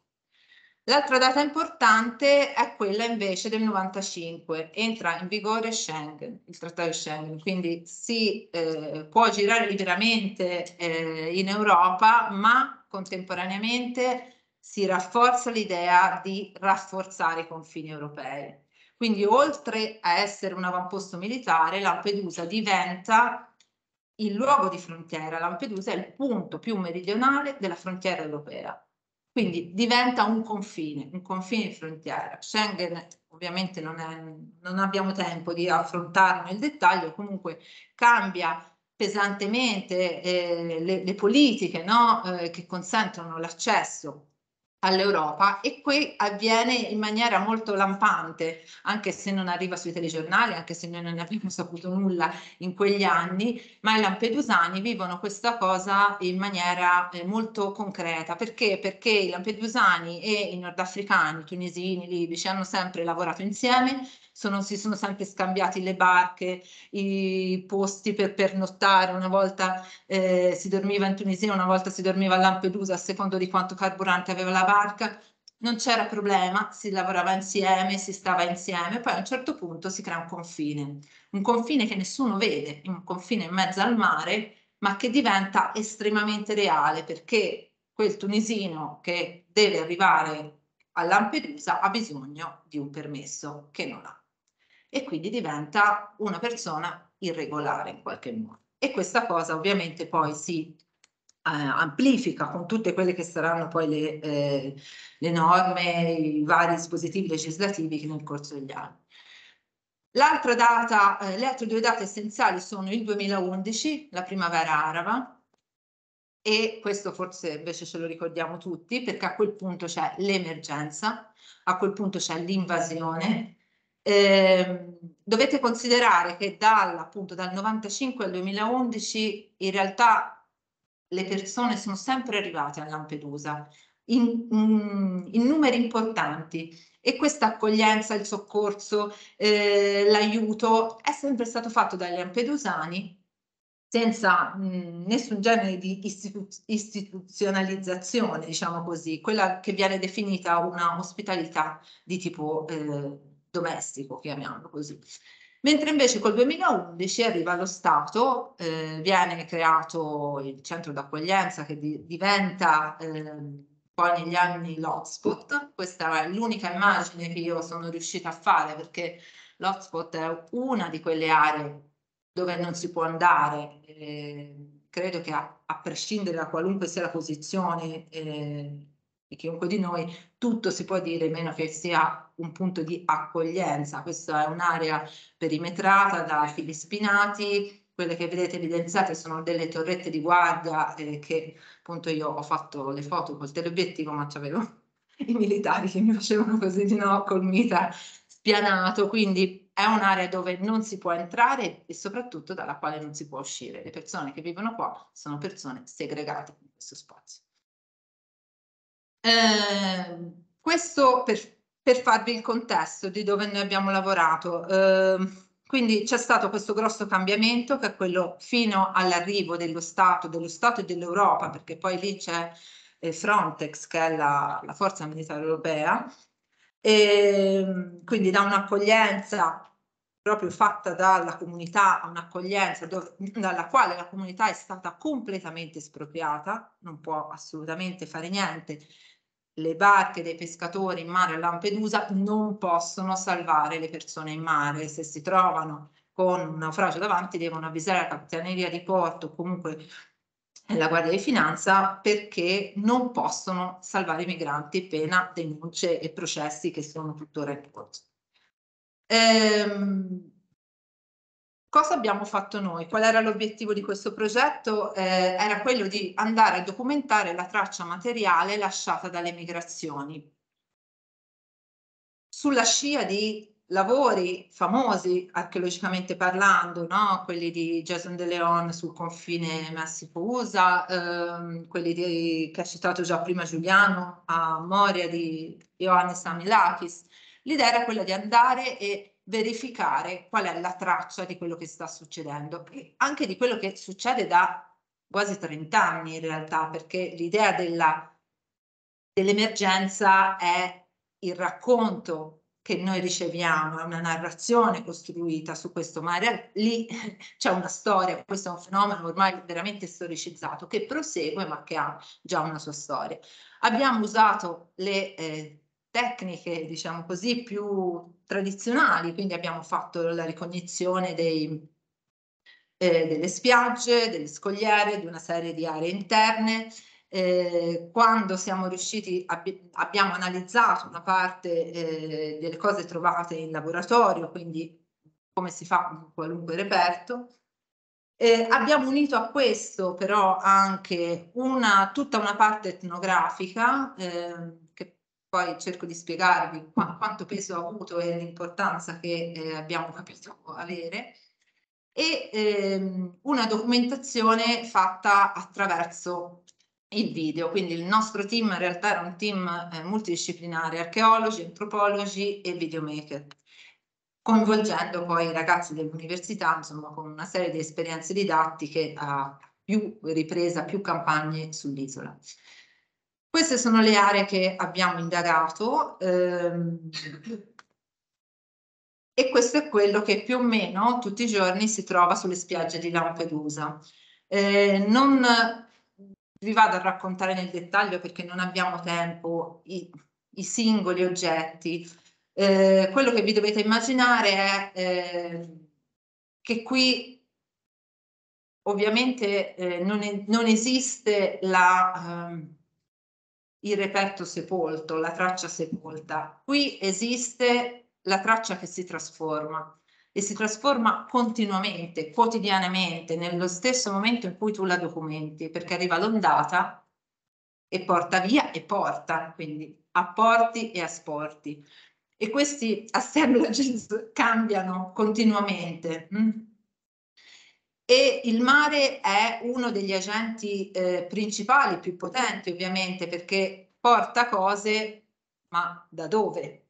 a seconda delle correnti, a seconda dei momenti, possono venire da lontano, possono venire eh, dallo eh, scoglio davanti. Noi abbiamo deciso di posizionare tutto quello che eh, abbiamo trovato, abbiamo documentato. L'abbiamo fatto in maniera sistematica, eh, come Giuliano sa noi siamo un po' fissati con i dati, giusto un attimino come laboratorio. Eh, quindi è, è, anche uno dei motivi, poi magari ci sarà, ne, ne potremo chiacchierare dopo, eh, in cui io credo eh, fortemente, perché l'archeologia contemporanea ci può far fare, ci può eh, stimolare su tantissimi temi, il rischio però è poi di scordarsi di, di fare di farne una documentazione, no?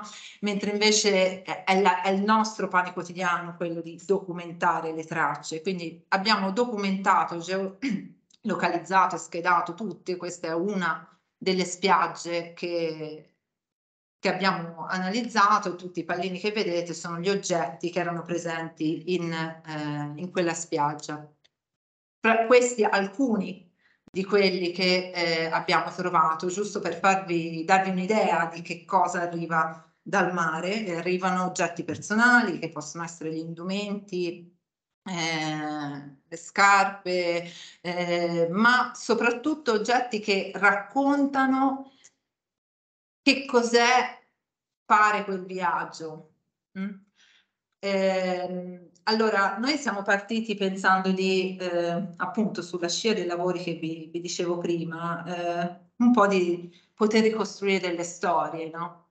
Le storie delle persone che affrontano questa cosa terribile, arrivano in questo punto che diventa un'ancora di salvezza, un momento di passaggio, ovviamente non è la meta finale, ma è comunque la salvezza e poi quando ci siamo trovati abbiamo capito che questo non si poteva fare. Non eravamo, non eravamo lì per fare questo, né per raccontare delle storie singole, individuali, personali, eh, e questo perché non, non, non, ce lo dicevano le tracce, non ce lo diceva la materia. Sì, abbiamo trovato eh, un pezzo di passaporto, abbiamo trovato alcune cose che sono effettivamente riconoscibili a una persona, ma qui c'è un fenomeno.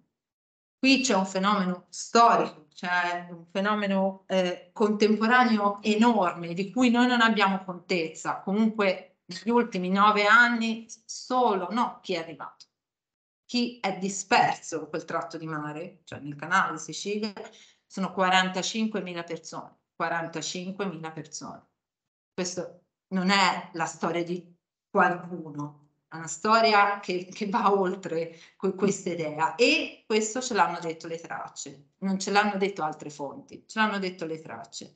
Perché? Perché le tracce ci parlano di, di viaggi, di condizioni disumane di viaggio. Quello che vedete in alto, ad esempio, è un bagaglio? Mm? è un bagaglio fatto con un sacco di mangime eh, per il pesce tunisino, dove dentro eh, c'erano delle cose tenute all'asciutto possibilmente. Perché? Perché in alcuni casi si parte così, in altri casi invece si riesce a portarsi un cambio, ad esempio, perché comunque eh, si vuole arrivare in maniera dignitosa quando si scende da quelle barche terribili.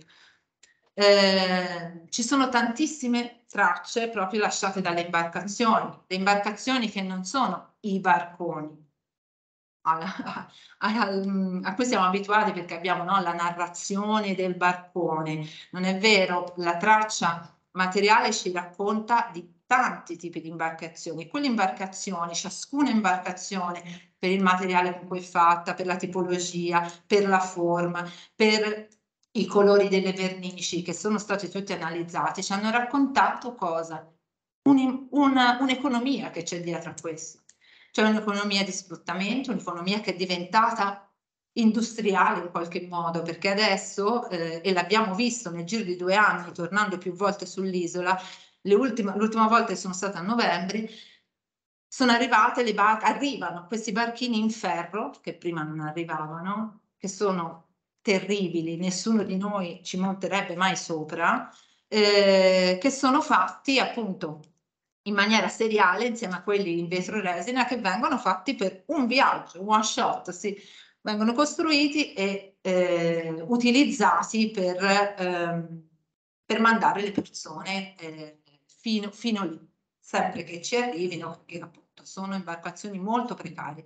Quindi già vediamo no, una differenza in questi anni proprio. Qui vedete uno dei grossi pescherecci che sono rimasti ormeggiati in porto eh, a Lampedusa. Qui non apro perché non lo chiuderemo mai tutto quello che comporta a livello di impatto ambientale questa situazione eh, che come vedete eh, qui ci sono le, le, imbarcazioni piene di nafta e con tutto quello che hanno sopra stratificate nelle acque dell'isola. Eh, abbiamo documentato le aree di stoccaggio di queste imbarcazioni eh, che negli anni sono state eh,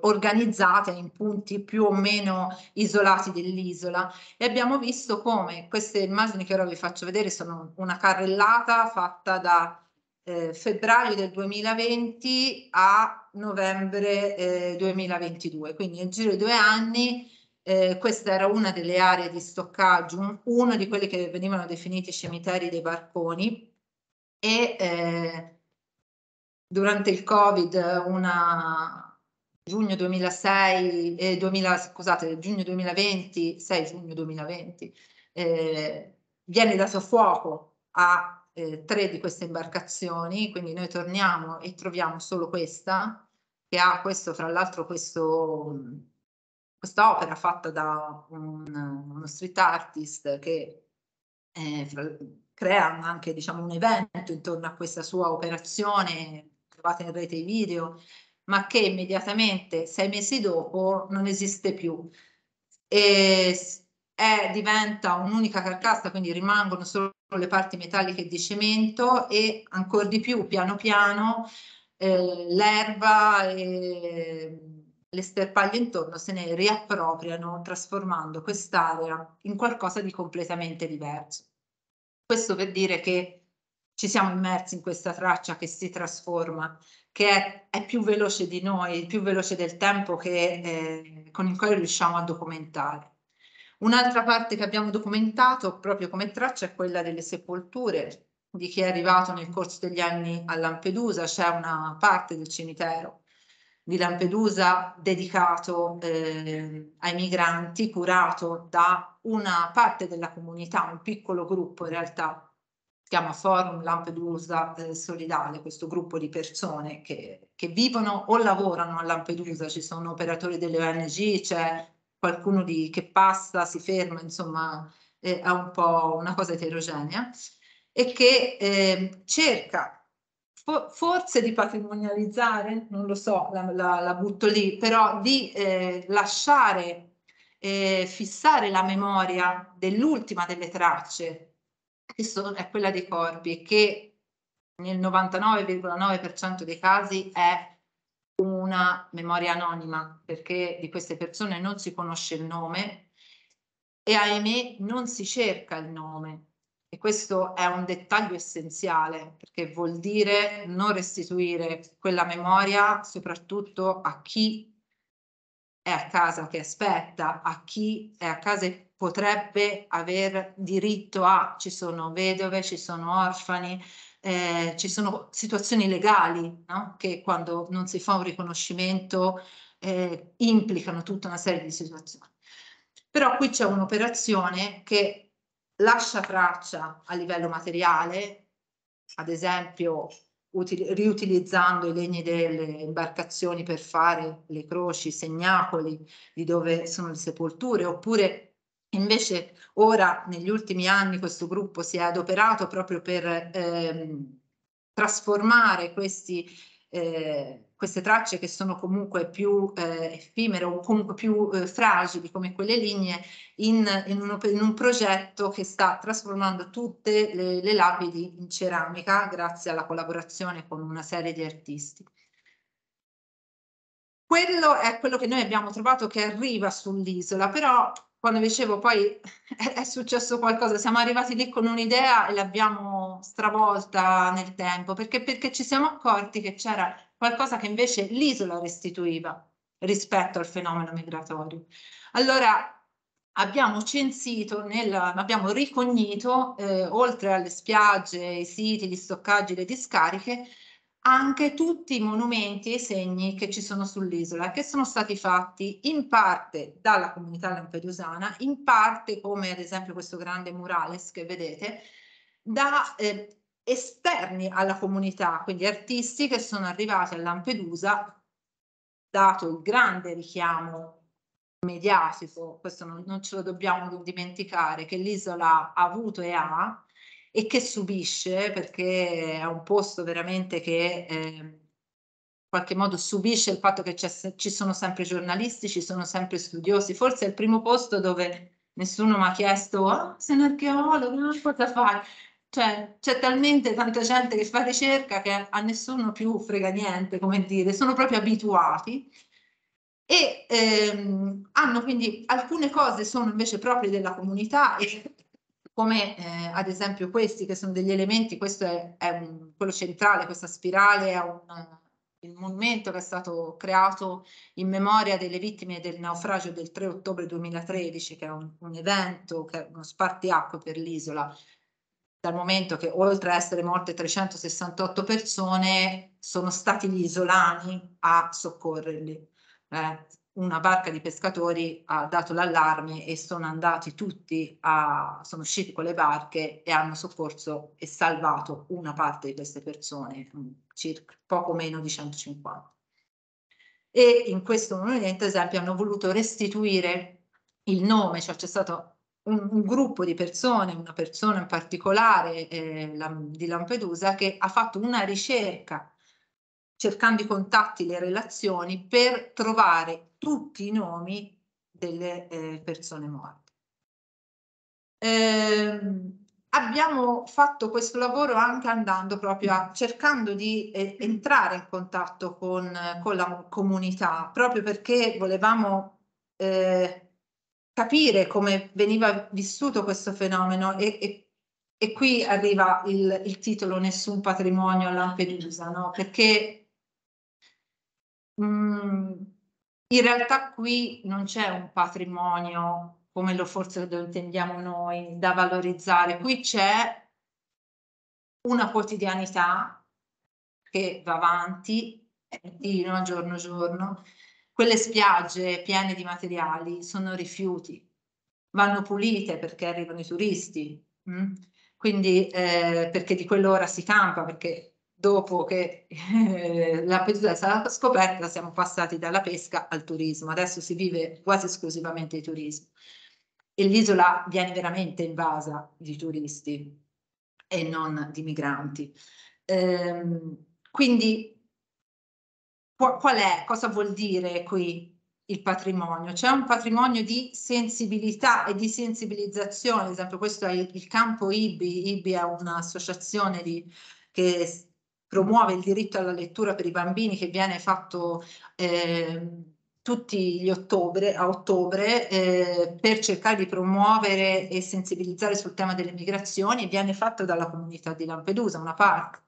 Questa è la coperta di Yusuf, un progetto che è bellissimo e molto interessante, proprio legato alla materialità, è stato chiesto in memoria di, della morte di un bambino che è arrivato due anni fa morto a Lampedusa di soli sei mesi e che è lì sepolto, di inviare quadratini 10 per 10 fatti a maglia all'uncinetto per costruire una grande e infinita coperta collettiva, che è questa che vedete stesa, che è stata stesa il 2 novembre eh, nel giorno dell'anniversario e che continua a crescere. Eh, c'è un, un, giardino della memoria, eh, ad esempio questo è un'area un che è stata destinata subito un mese dopo il naufragio del 2013 eh, a, ehm,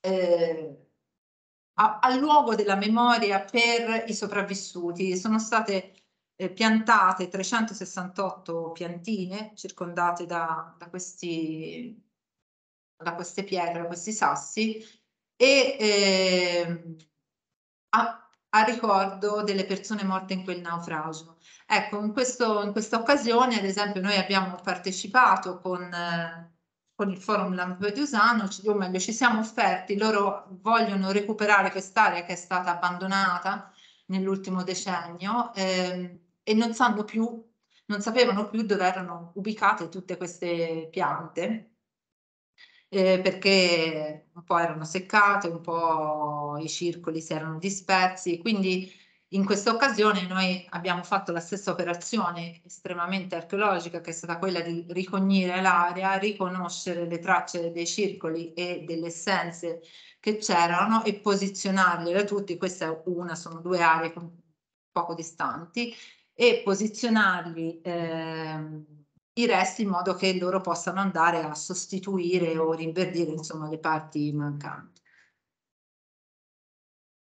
per chiudere, eh, queste sono le tracce, no? Eh, sono anche un po' le immagini, quelle che, che siamo abituati a vedere alla fine, proprio da, dai media, dai servizi, no? È, è, è ciclica, almeno io la, la, vivo così, ogni tanto viene fuori che si parla di migranti, e allora ogni tanto c'è il servizio su Lampedusa, c'è la denuncia, eccetera.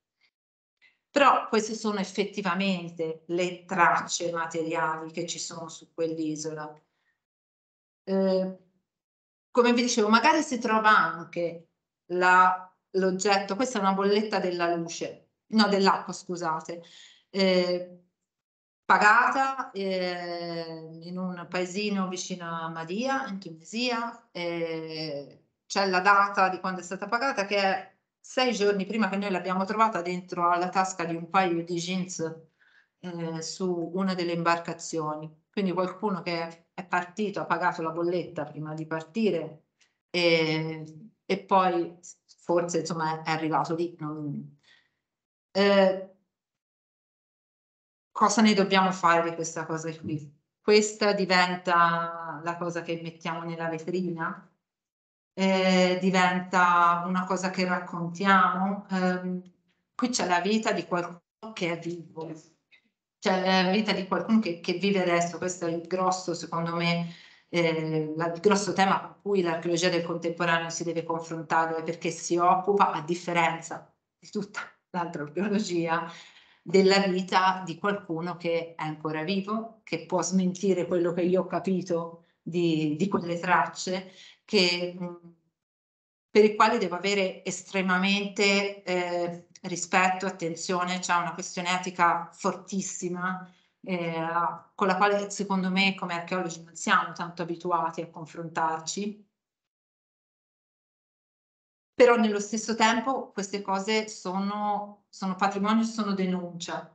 Questa è una, una bottiglia di urina, ne abbiamo trovate a decine, forse a centinaia eh, sono bottiglie che vengono riempite di urina perché quando finisce l'acqua non c'è altro da bere mentre si viaggia. Allora io ovviamente ve la butto lì come provocazione, ma perché con Giuliano ci avevamo detto che doveva essere un dibattito, questo spero che, eh, che lo sia, cioè bisogna chiedersi davanti a questo tipo di tracce, no? Cosa, come ci vogliamo porre e cosa ne vogliamo fare.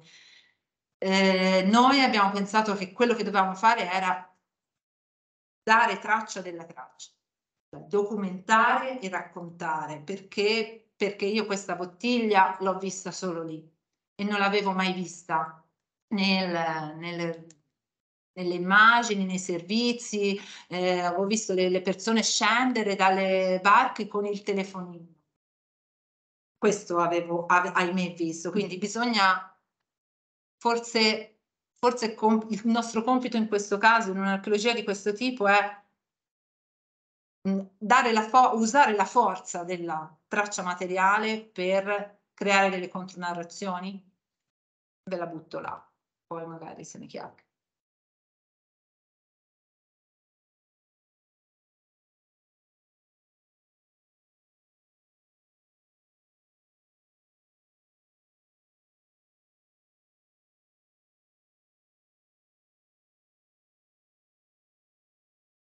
Così particolare, beh, credo che per molti è stata una sorpresa come la prima volta ci tenevo che fosse presente questo dialogo economicamente provocatorio, evidentemente di eccessivo, assolutamente. Eh, è sicuramente un discorso emozionante, non c'è dubbio, questo è un altro elemento interessante. Da oggi spesso ti propongono emozionale, un aggettivo orribile, c'è un aggettivo diverso, emozionante, che molto più denso di significato, un carico di, di importanza. Ehm, tra le tante cose, questioni veramente, eh, viene in mente eh, questa idea che questo, questi ritrovamenti no, che voi fate, cioè è veramente un'archeologia per il futuro, perché è una collazione ecologica rinvenimenti misurati, come fate benissimo voi, geolocalizzati, quantificati, e purtroppo diciamo, non ha termini di confronto precedenti che nessuno ha raccolto sulle spiagge di Lampedusa negli anni 50, però chissà magari nel 2100 qualcuno raccoglierà e chissà troverà, non troverà più quelle cose. E allora questo potrà essere una traccia materiale di un passato, di, di, di un, una crisi della modernità che poi si sarà superata, è un auspicio o di qualcosa che è cambiato, perché non c'è dubbio che bisogna fare una differenza, perché rottami di legno, di botti, questi si possono trovare. C'è cosa, cosa restituisce il mare normalmente, perché è evidente che lì c'è, un segno storico di qualcosa. Necessiterà di un, di un termine di confronto per istituire una, una, sì, lì, una periodizzazione, diciamo così. Tra l'altro, lì ora, eh, mh, ovvio che poi non arrivano solo le cose de, di chi viaggia, no? Eh certo. Eh, ci sono le cose della pesca, eh, esatto. Volente, questo è interessante. L'entanglement è esatto. l'ennesima potenza. Allora, per concludere questo giro di, di presentazioni, di suggestioni, eh, passiamo la parola a Claudia Villani, che è una storica.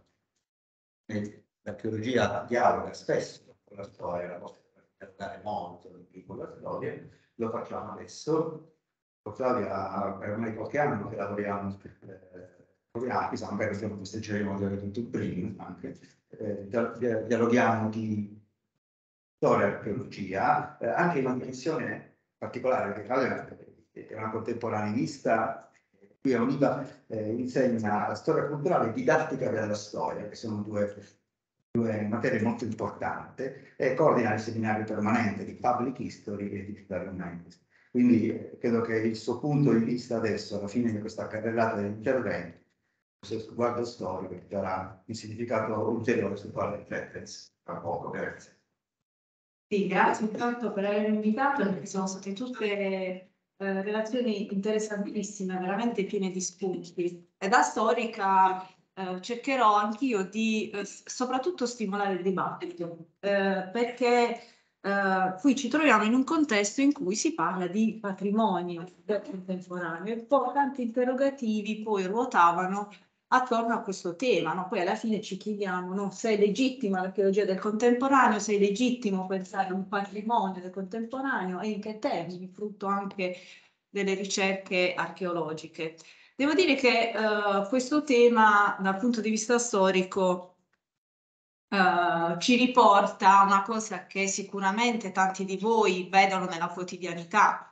Uh, le guerre sulla storia, le guerre sui monumenti, le guerre sull'insegnamento, insomma siamo, e non è un fenomeno soltanto italiano, no? le domande che ci stiamo facendo qui se le fanno in tutto il mondo. Quindi un primo elemento su cui riflettere è proprio questa distinzione, cercherò di impostare un po' da, dal mio punto di vista questo, questo tema, intanto distinguendo tra quello che fanno le nostre discipline, la storia e l'archeologia, che come ha detto Giuliano, come avete ricordato voi, sono uh, una forma mentis, un metodo no? scientifico di avere a che fare con le tracce del passato più o meno contemporaneo e anche da storica con le tracce del passato più o meno contemporaneo. E poi un altro tema, che è quello che si potrebbe chiamare uh, della memoria pubblica, i processi di patrimonializzazione. No?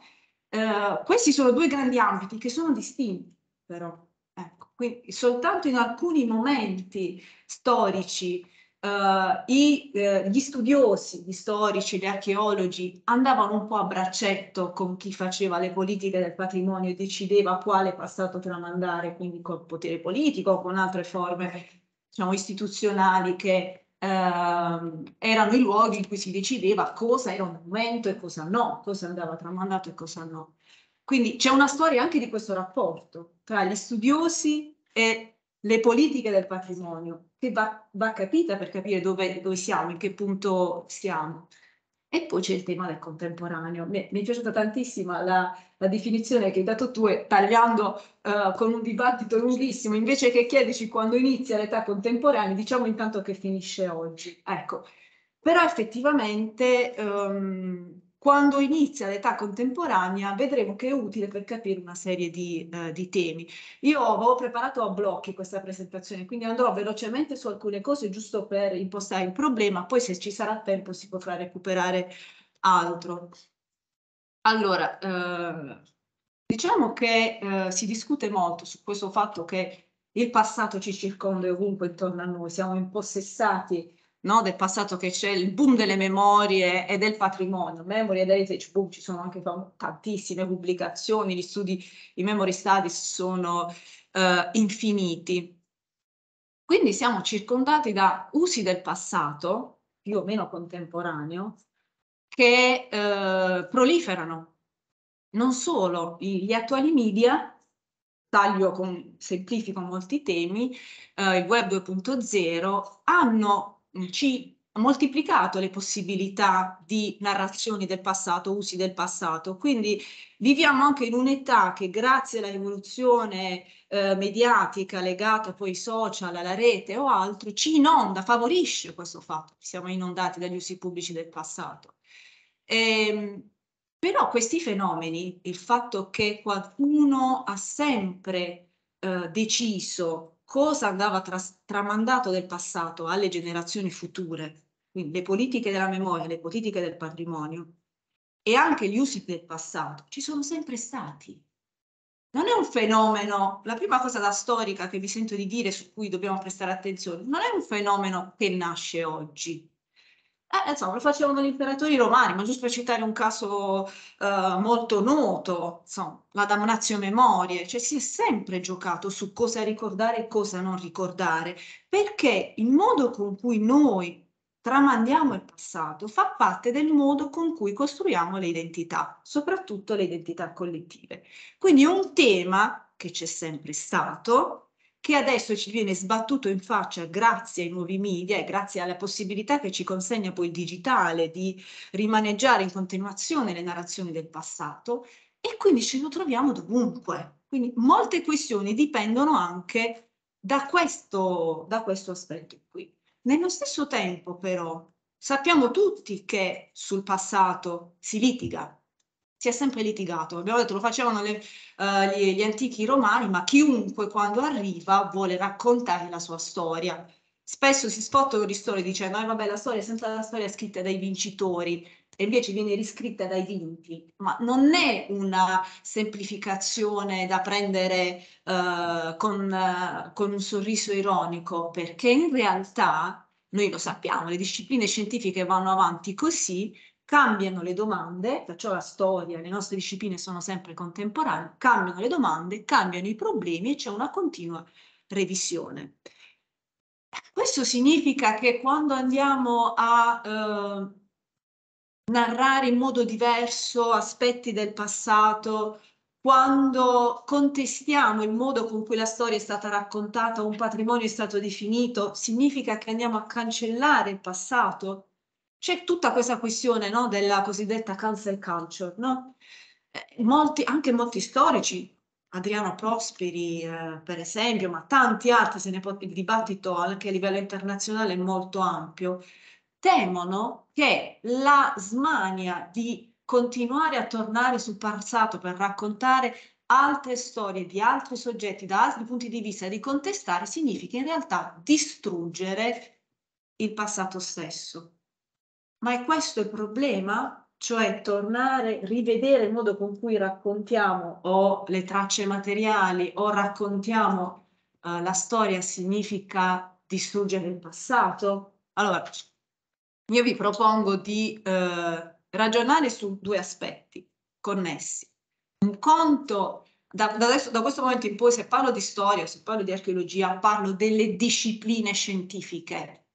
Quindi se parlo di passato, parlo di passato in termini generali, quindi di tutto quello che sul passato si può dire, raccontare e anche manipolare quello che c'è nella sfera pubblica eh, quotidiana. No? Quindi intanto lo storico se alza la voce e dice eh, temo la distruzione del passato, secondo me sta temendo un'altra cosa. Teme la distruzione del ruolo dello storico. Quindi stiamo discutendo del ruolo, del contributo che la disciplina scientifica come storia, la disciplina scientifica come archeologia può dare alla conoscenza del passato, che viene messo in discussione dalla proliferazione di tanti usi o abusi del passato. Però c'è un ambito che ha a che fare con l'età contemporanea in particolar modo. L'età contemporanea è l'età in cui si afferma la società di massa, sfera pubblica contemporanea, la, insomma, i processi di democratizzazione, la scuola pubblica, quindi la sfera pubblica contemporanea non è quella dell'impero romano, no? abbiamo opinioni pubbliche un po' più avvertite, abbiamo la scuola dell'obbligo. E quindi diciamo il governo della memoria pubblica è un po' più complesso è la memoria collettiva pubblica, che è sempre questa, il risultato di un patto ridefinito nel tempo su cosa è importante trasmettere del passato alle generazioni future, si costruisce in tanti modi. Si costruisce stabilendo che monumento erigere, che memoriale erigere, quale giornata della memoria eh, porto nelle scuole pubbliche o comunque come Stato considero fondamentale per, miei, per l'educazione dei miei cittadini, si costruisce con la toponomastica, con gli archivi, con i musei, con ciò che viene definito patrimonio, con l'insegnamento della storia, soprattutto poi scuole, nelle scuole pubbliche. Quello Tutte queste cose vengono chiamate adesso politiche della storia, politiche della memoria. Insomma, abbiamo capito, credo, quello di cui stiamo parlando. Ed è una cosa che è non solo legittima, ma che va poi studiata. Quindi c'è un insieme di apparati che definiscono cosa tramandare, cosa è importante trasmettere del passato alle generazioni future.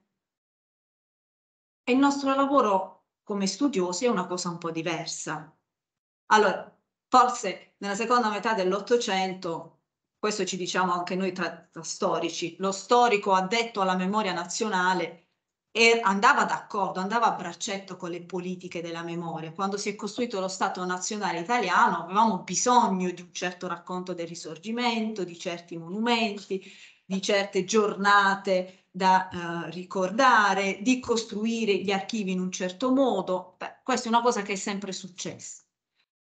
Adesso questo rapporto tra le discipline scientifiche e la gestione della memoria collettiva pubblica, le politiche della memoria, le politiche del patrimonio, complicato dalla proliferazione sui media di tutte le narrazioni sul passato, un po' instabile. Ecco perché secondo me il disciplinarista viene messo in discussione. Perché i processi di memorializzazione e patrimonializzazione no? eh, di fatto sono collegati alle politiche delle identità. Quindi ogni volta che eh, stabiliamo un monumento, un patrimonio, una, una giornata della memoria, stiamo parlando dell'identità di oggi, del presente. Quindi ecco perché l'ambito poi di studi sulle identity politics è molto legato a quello delle mm, memory politics. Quindi questo è un fenomeno che si può anche studiare, anche gli studiosi di storia culturale lo studiano, che è un fenomeno mh, mm, di questo tipo, culturale, pubblico, politico, di questo stiamo parlando.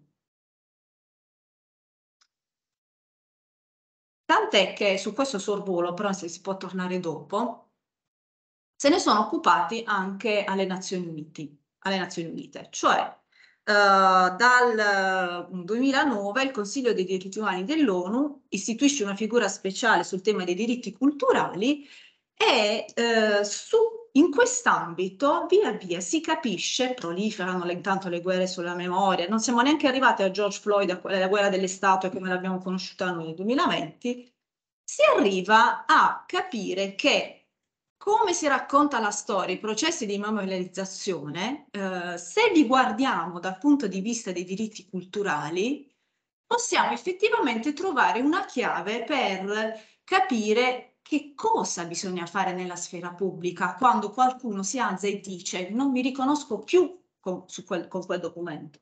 Non penso più che il, la statua di Colston debba stare lì, perché quello era uno schiebbista, non mi riconosco in questo racconto, oppure i padri americani o altri. Che si deve fare? Insomma, ci, eh, sono molto interessanti questi rapporti, poi ovviamente come tutte le, le cose che riguardano l'ONU sono, sono, pubbliche, si possono scaricare, ma se voi vedete le domande, e queste sono domande che ci accomunano, ecco perché poi spesso con Giuliano eh, parliamo, nel, nel, report che un po' a Ginevra del 2013, eh, in cui si fa un po' il sunto del lavoro su questi temi, le domande sono, sono quelle che ci stiamo ponendo, cioè le eh, prospettive di tutti i partiti o delle comunità sul passato devono essere incluse nel, nei manuali, tutte le prospettive, anche quindi di comunità che sono in conflitto sulla, su quale passato tramandare.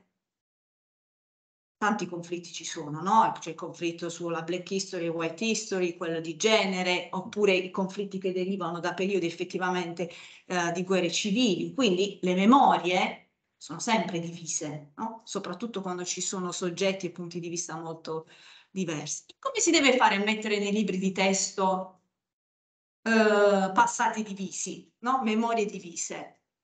Vedete la seconda parte, in modo simile le visioni e le prospettive di tutte le parti eh, delle loro comunità devono essere tenute presenti quando si costruisce un memoriale o un museo quindi di che stiamo parlando quando si parla di guerre della memoria, di cosa facciamo quando andiamo a definire che una cosa è patrimonio e un'altra non lo è? Stiamo parlando della costruzione della memoria pubblica.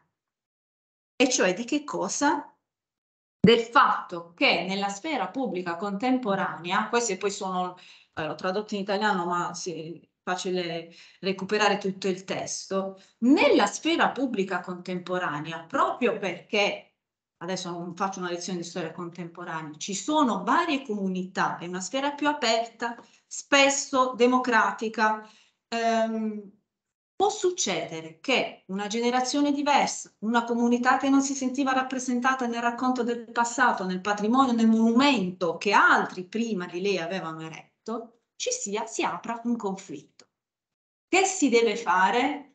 Questo è un tema che ha a che fare con la memoria pubblica, quindi potremmo dire col ruolo pubblico dello storico, col ruolo pubblico dell'archeologo. E poi sono le domande che le colleghe anche si facevano prima. Ma dice un'altra cosa, perché questo rapporto dice che per garantire che la sfera pubblica contemporanea sia democratica, bisogna mantenerla aperta, aperta. Quindi una generazione diversa, una comunità diversa deve poter prendere parte a definire quale passato tramandare alle future generazioni e solo se si prende parte insieme, ci si confronta, il rapporto col passato non è, come diceva Giuliano, non diventa divisivo. Se invece una comunità, non so, eh, si alza e dice no, quella statua non va abbattuta perché io mi riconosco in quella, l'altra comunità che deve fare? Ah no, io accanto allora metto un'altra statua eh, che dice un'altra cosa. Guardate che di questi fenomeni non solo se ne occupano gli studiosi, ma avvengono dovunque nel mondo. Vi faccio vedere solo qualche esempio, vabbè, su questo si può ritornare. Eh, chiaramente dopo la, la lucidazione di George Floyd, la guerra delle statue alcuni si sono accorti che c'è una guerra delle statue in tutto il mondo, ma in realtà c'era da, già da decenni come il conflitto tra Black History e White History. Ma la cosa interessante è che da quel momento in poi la situazione si è talmente radicalizzata che se leggete per esempio alcune cose, tanto quelle slide le lascio, di questa delibera del Dipartimento di Letteratura Inglese dell'Università di Chicago, Addirittura per il ciclo di ammissioni dei laureati 2020-21 il Dipartimento di Inglese dell'Università di Chicago accetta solo candidati interessati a lavorare in e con i Black Studies. L'inglese come disciplina è responsabile dello sviluppo di gerarchie di produzione culturale. C'è una grandissima battaglia nella sfera pubblica che arriva quasi a eh, rendere il confronto con il passato e quindi con anche il ruolo che la letteratura inglese aveva avuto nel passato uno scontro tra titani, no? In questo caso effettivamente eh, lo studioso del passato dice qua si vuole cancellare, no?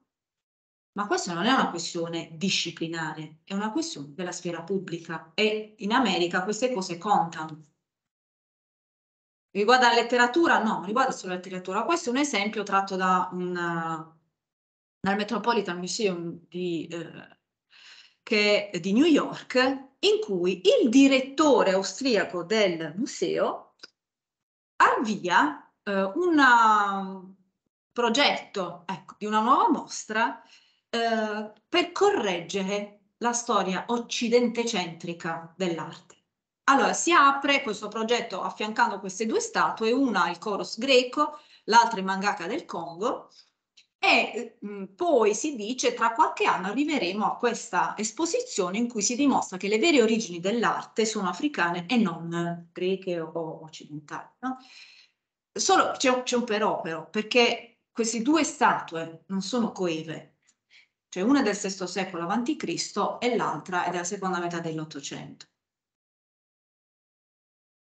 Ecco perché, vabbè, questo nell'articolo di Repubblica in cui si presentava questa cosa, eh, la questione di genere, le questioni razziali sono diventate talmente forti, talmente eh, conflittuali nella sfera pubblica e politica da andare a eh, impattare in maniera forte non solo nell'insegnamento della letteratura inglese come abbiamo visto prima, ma anche nella costruzione delle esposizioni di un museo. Quindi che cosa è patrimonio e che cosa no.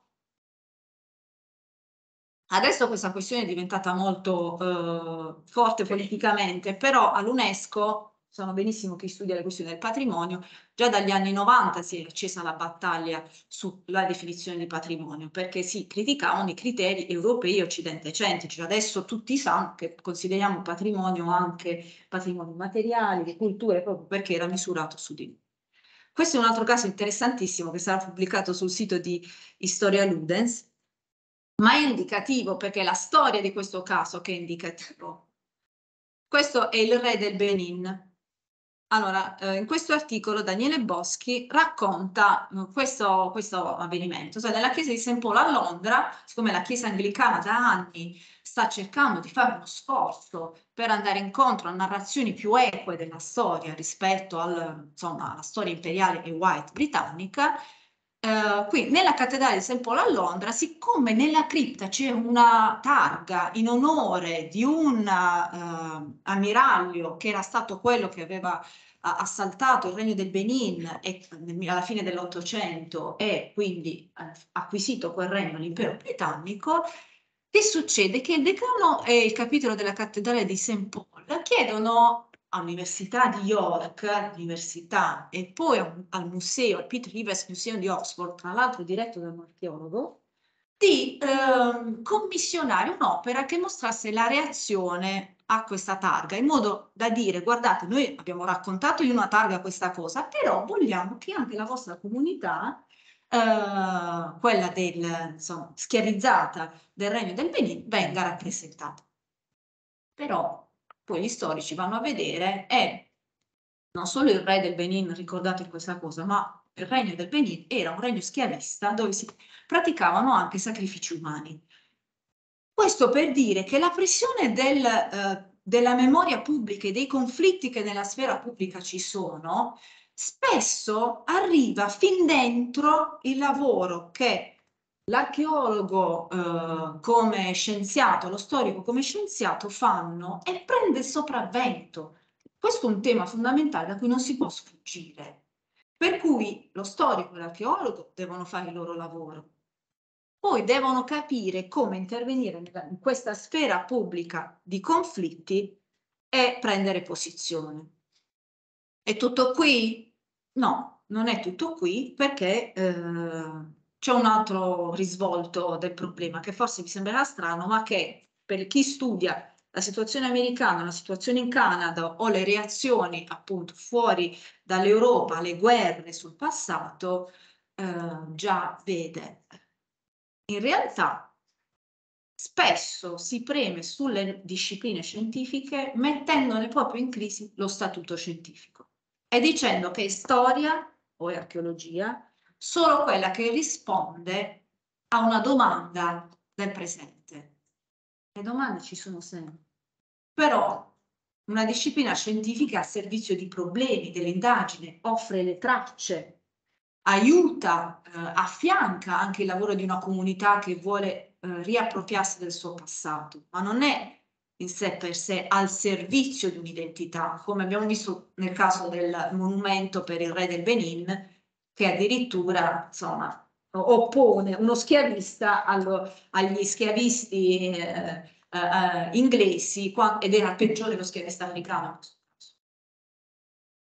Questa frase, uh, poi vi dirò di chi è, eh, insomma, chi scrive dice, ma se noi non leggiamo il passato attraverso il prisma delle questioni sociali di giustizia contemporanee che stanno nel dibattito contemporaneo, razza, genere, sessualità, nazionalismo, capitalismo, non stiamo facendo storia? Cioè, quindi se noi non ci pieghiamo a fare storia o eh, non pieghiamo le nostre discipline in risposta alle urgenze de dei conflitti pubblici contemporanei, non facciamo storia?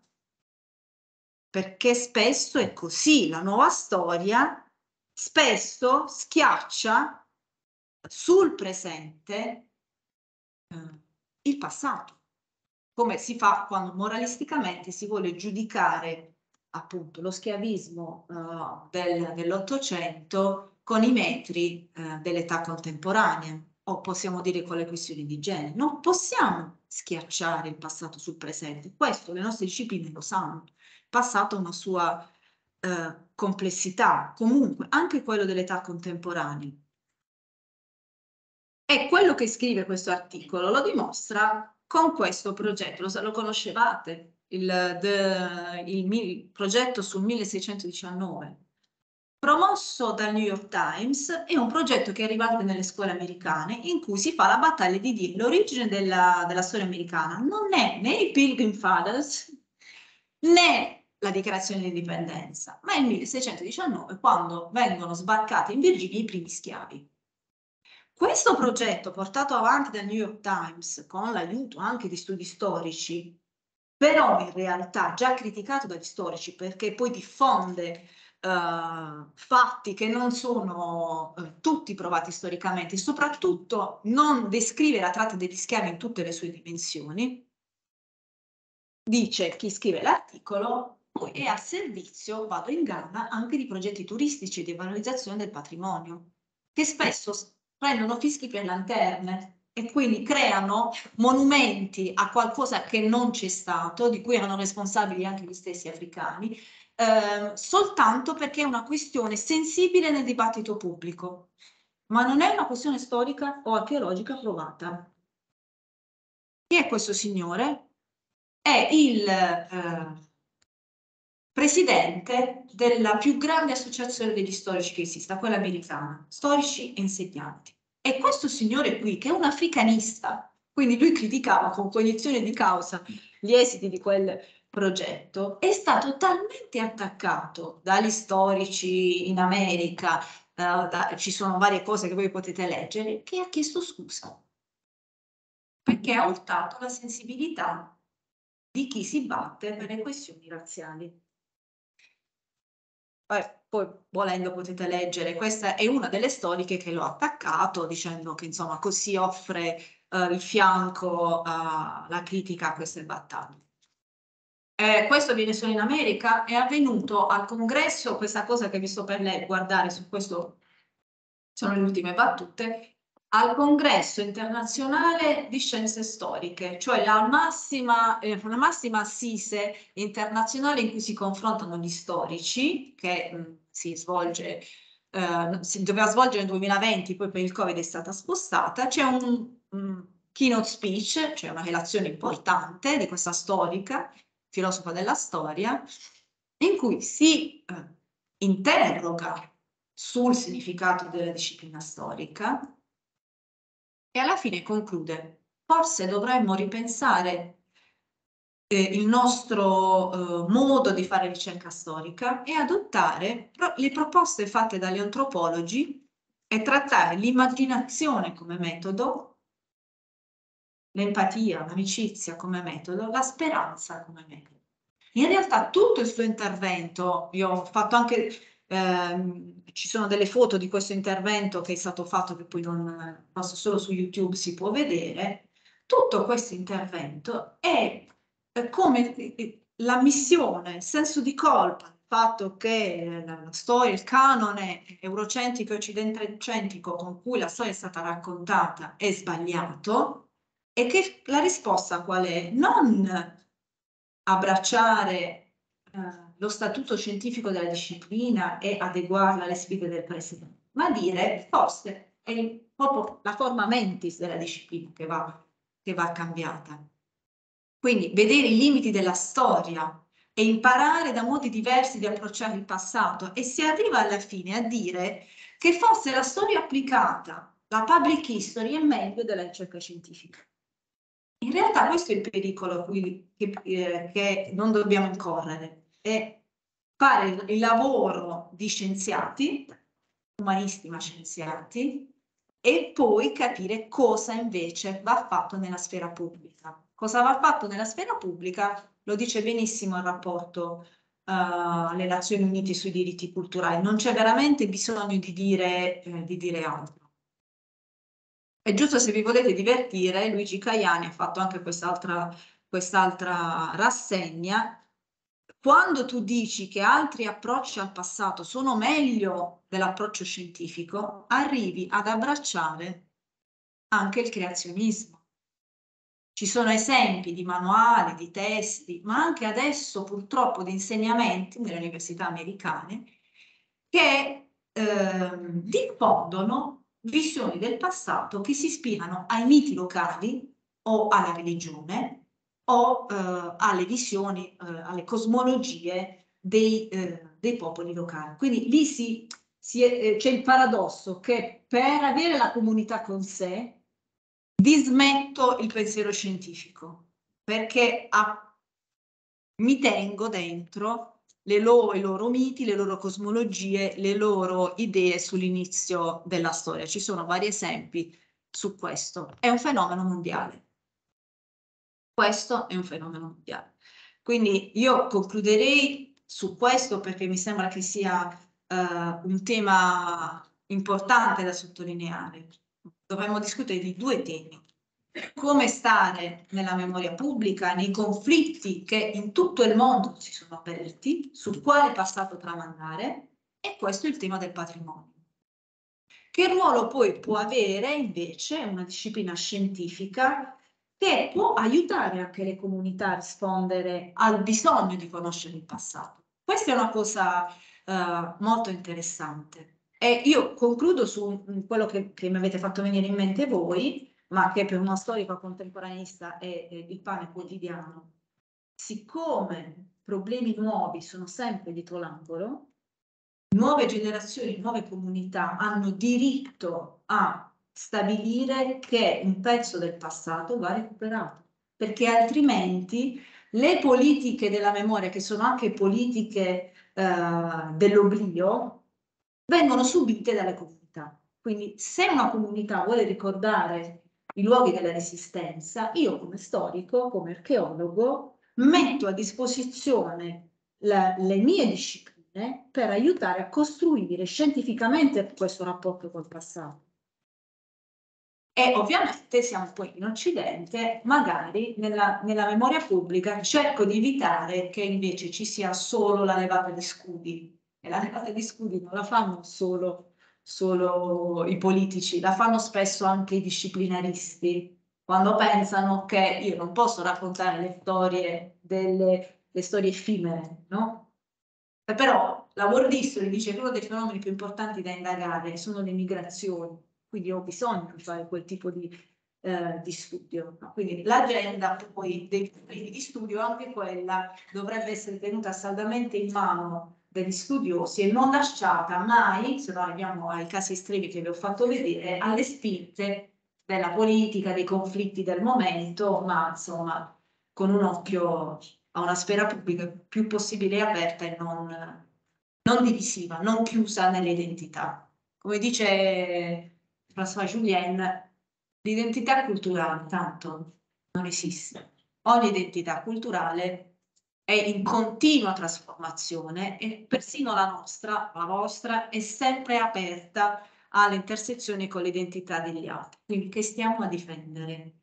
Capiamo invece meglio in che direzione stiamo andando. Le nostre discipline sono delle foramentis molto utili da questo punto di vista.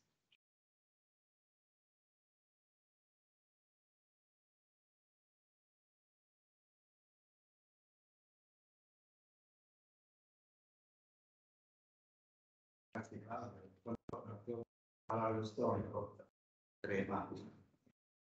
Eh, perché mi ricordo complicato. Poi l'ha detto Roberto. Il suo modo è piccolo.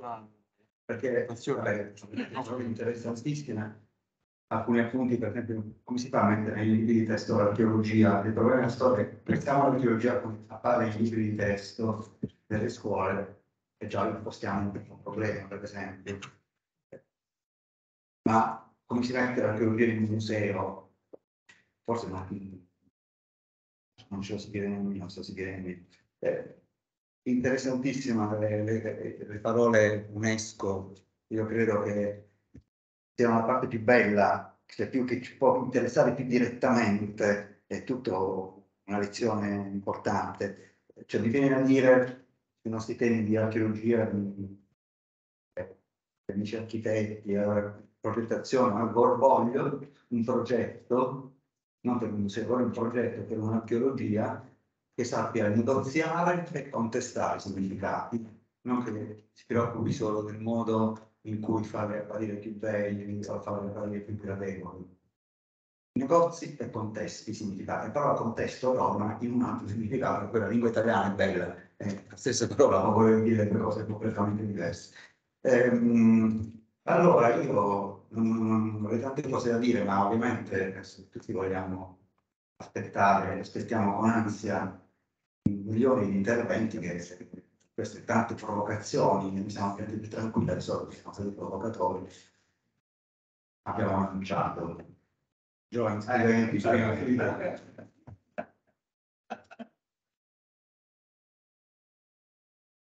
Ah, vedete, in giovane non potete spazi dottorandi, lui è, cioè, è dottorandi, pure il dottorando. Eh, prego.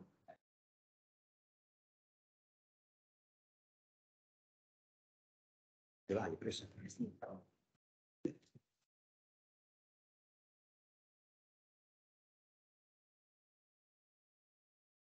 Salve, Federico Secondo. E, Innanzitutto vi ringrazio perché la tematica è estremamente affascinante. Si tratta di temi che per me sono molto legati, essendo molto legati alla contemporaneità, sono anche molto legati al tema del progetto. Ed è per questo che mi danno da pensare moltissimo perché sono ricchi anche di storie e spesso e volentieri anche lo strumento del progetto deve e in qualche modo prova eh, a tirare fuori, a, a lasciare all'interno della contemporaneità. Però vedo che comunque eh, i grandi temi che sono stati in qualche modo esposti qui sono a che fare principalmente con l'industrializzazione, i flussi migratori, i conflitti. E um, io stavo pensando a qualcosa di un po' diverso, qualcosa che in realtà ho inserito forse anche senza una completa coscienza all'interno del mio progetto di ricerca, che eh, è l'insediamento in abusivo di Pizzosella, eh, che fondamentalmente è un simbolo del sacco di Palermo, viene chiamato dal mostro di Nostra, la collina del disonore, eh, e quindi quello che mi chiedo io è che il fatto che noi ci stiamo spostando verso una tutela del territorio e del paesaggio eh, non è da fare anche un recupero di testimonianze di questi momenti tragici, di perdita del paesaggio stesso, ehm, perché altrimenti poi dopo finisce che facciamo una dannazione memoria, cioè nel senso che nel tentativo di recuperare il paesaggio ci perdiamo quei, quei punti in cui questo meccanismo è collassato. E, e, quindi a questo punto, data la mole del danno dell'abusivismo sul territorio, mi chiedo quali sono i criteri di selezione in un'ottica di recupero del paesaggio però che deve coincidere anche con un recupero delle testimonianze di questo fenomeno. Abbiamo detto anche che il patrimonio esiste eh, quando è percepito come di valore, però in questi casi succede che ah, Cioè che valore esiste le testimonianze che sono esplicitamente percepite come disvalore?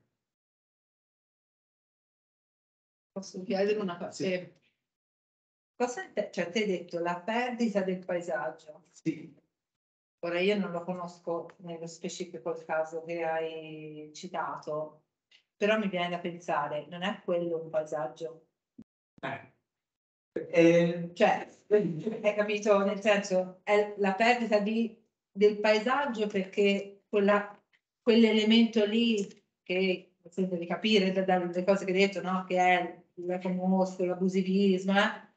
Ha portato via qualcos'altro che era il paesaggio che avevamo in mente perché viene sentito invece, come dicevi adesso, magari da, da chi vive quell'area lì come qualcosa che ha rubato, qualcosa ha intaccato, qualcosa che era considerato bello, non lo so, che, che era vissuto e che magari è stato usurpato. Però mi viene da chiedere, ma se dici ho perso il paesaggio, cosa, cosa intendi? Perché forse invece il paesaggio era quello lì. Eh, però ad esempio qui c'è questa cosa che abbiamo detto, che il patrimonio esiste se il valore è percepito eh, da una comunità, quindi forse questo punto il ruolo è quello di, eh, magari attraverso lo strumento del progetto, non lo so, lascio lì, attraverso lo strumento del progetto è quello di prendere qualcosa che è percepito come un disvalore e creare degli strumenti di lettura che in qualche modo lo trasformano, lo riscattano, lo fanno diventare come eh, una percezione completamente diversa. Non lo so, questa è un'ipotesi. No, io... Eh, è chiaro che anche quello che diceva Francesca, cioè, c'è, eh, eh, esempio si, si può ragionare intorno al concetto di valore, no? perché il valore, eh, in questo senso, ho voluto chiamare ragionare sul patrimonio oggi, non perché che sia una definizione sempre valida nell'universale del patrimonio, però forse è banalmente qualcosa di più di quella definizione che magari non ci diamo nemmeno quando ci imbattiamo in qualcosa di facile e antico vale. No. Beh, so, possiamo anche non essere d'accordo, perché c'è tante cose che sono antiche che non valgono nulla, a cui noi attribuiamo un valore, un nome de- del fatto che è antico, che è magari poco conteso, quindi anche più comodo da, identificare come bello, ma pure la cosa che è bella, però eh, poi per parlare di bello, no? Cioè, potremmo capire se mettiamo di parlare appunto, o è antico oppure appunto qualcosa di difficile quando diciamo che è nostro, no? E quindi così è il nostro, vuol dire che qualcuno non è, qualcun altro non è, quindi diventa divisivo, però sono tutti valori dati da, forse da- con leggerezza, allora, se il paesaggio da l'insediamento incompiuto di Palermo è parte del paesaggio. Poi eh, io credo che è la comunità stessa che vive oggi che decide, non è che di cancellare, abbattere, rifunzionalizzare, dimenticare, ma è un valore, è, un- è qualcosa di storico,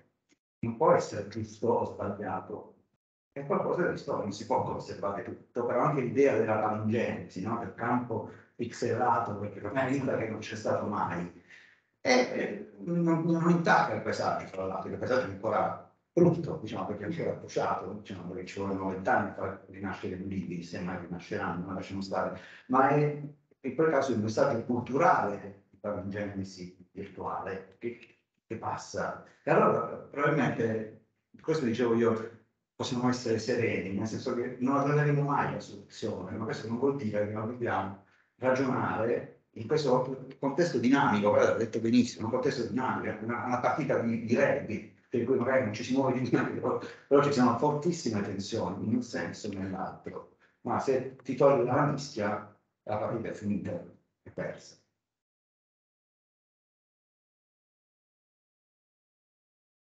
Non so se volete...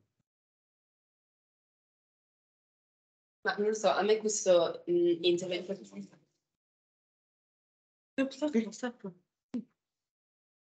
Cioè, A me questo intervento fatto pensare che ehm, dietro questa definizione del stato di, di valore per un contesto che voi foste percepito come uh, introduzione negativa di un percepito. Non sappiamo se semplicemente percepito come positivo o no, quindi un'introduzione negativa. Ehm, magari la curiosità da parte della comunità può nascere nei, confronti dello studio di questo contesto per capire che, quali sono state le ragioni che hanno portato alla costruzione di questo tipo di paesaggio e attraverso questo studio sicuramente interrogarsi su quale fosse la situazione precedente e da questo comprendere quali sono state le ragioni della costruzione di questo, di questo nuovo aspetto e um, anche quali cambiamenti ha comportato nella vita delle società di quei quartieri, dei quartieri intorno, insomma secondo me da una, anzi può essere molto interessante analizzare degli spazi che abbiano uh, presso la comunità una, un impatto di percezione negativa perché um, possono praticamente comprendere qual è loro, la loro funzione nell'ecosistema della, della comunità. Cioè, non, non, non vedo perché di non, non imbarcarti nello studio di una, un contesto al quale siamo abituati ad attribuire un tipo di valore. Non è No, ma in realtà è ho lanciato la domanda perché pensavo sapere la vostra Sì, se posso dire, eh, la differenza dovrebbe essere proprio nel non iniziare uno studio perché penso che eh, debba avere valore per una comunità, ma eh, il problema è partire da uno studio perché tu pensi che quel fenomeno eh, sia importante da studiare, raccogliere le tracce, raccogliere tutta la complessità che c'è intorno a quello per offrire un pezzo di una storia, no? che poi questo possa diventare qualcosa di cui una comunità vuole appropriarsi o trasmettere e quindi che consideri di valore da trasmettere, è un'altra dimensione. Non sempre gli studiosi studiano perché hanno alle spalle una comunità che, anche perché hanno un problema di ricerca. Certe volte sono dei pezzi del passato perché pensi che siano fondamentali per da capire, ma non è, non è che hai sempre un committente o una comunità eh, dietro. Perciò le, le, due questioni sono, se no altrimenti la pressione della comunità che deve valorizzare qualcosa diventa più importante del problema scientifico che ti stai ponendo tu. Che invece tu dimostrerai con la tua ricerca che studiare quell'oggetto significa comprendere un pezzo fondamentale di una storia di una, di una comunità, ma lo dimostri tu come come studioso. Mm, non so se... Eh, però ecco, questo fa parte di un'ossessione che ci circonda. Cioè, e perché siamo ossessionati dal fatto che se lasciamo che qualche cosa deperisca, quel passato non c'è più? Cioè, nella storia, delle, nella storia dell'umanità c'è sempre pezzi che vanno distrutti, di monumenti, di tracce, eh, di, di memorie. Sempre c'è l'oblio. Perché siamo ossessionati dal fatto di dover ricordare tutto? Perché? Come storica uno dei temi che si studiano, un pezzo di risposta c'è, perché fino a poco tempo fa avevamo un modo di avere rapporto col tempo storico che aveva una sua coerenza e eravamo abituati a pensare di essere l'apice di un certo eh, sviluppo. No, eh, c'era un certo racconto della storia in cui alcune questioni fondamentali l'Occidente, la civiltà liberale, lo Stato-nazione, l'identità nazionale e poi quella europea le davamo per scontate, con tutte le definizioni di patrimonio, di cose importanti. Cose... Questa cosa è franata, perché prima o poi le civiltà comunque finiscono, ce lo dice la storia, e adesso ci si guarda intorno, ognuno cercando di capire, ma allora forse di quel passato, e se perdo questo perdo qualcosa, se perdo quest'altro perdo qualcosa. Quindi siamo in, questa, siamo in questa situazione, ma come studiosi noi dovremmo dire mi interessa questo problema e come ha fatto benissimo la collega di Pisa o anche le, le, altre colleghe, ti dimostro che se non uso questi strumenti, un pezzo importante della storia del Novecento non si racconta. Un pezzo che non era importante fino a poco tempo fa. È chiaro che più si va avanti nel tempo, più si arriviamo, prima guerra mondiale, seconda guerra mondiale, guerra fredda e, e tempi più contemporanei, i conflitti sono sulla memoria darà, sono più ampi, è chiaro, perché li abbiamo storicizzati di meno, ma vale anche sul passato. Quante, quante lotte abbiamo fatto su come raccontare la rivoluzione francese o altri pezzi del passato e se ne faranno sempre. E comunque un pezzo di oblio c'è. No, lo studioso dice io voglio recuperare questo perché ti sto dimostrando che altrimenti alcune cose non, non si capiscono. Do un contributo a comprendere una storia della contemporanea che è fondamentale. E non è detto, posso, posso aggiungere che una volta che tu hai dato quel contributo e che ne hai anche veramente fatto emergere, perché magari, almeno ora non so te di cosa ti occupi, ma noi, eh, io sono archeologo, dico no, eh, per me la traccia materiale è quella che mi racconta delle cose che in altra maniera io non riesco a leggere. E non, non è detto che alla fine di quel racconto che ti hai costruito e magari hai anche esposto e fatto comprendere quella comunità, non ne voglia fare niente e elimini totalmente e mandi nell'oblio e distrugga quell'elemento, cioè questo ovviamente non dipende da noi, no?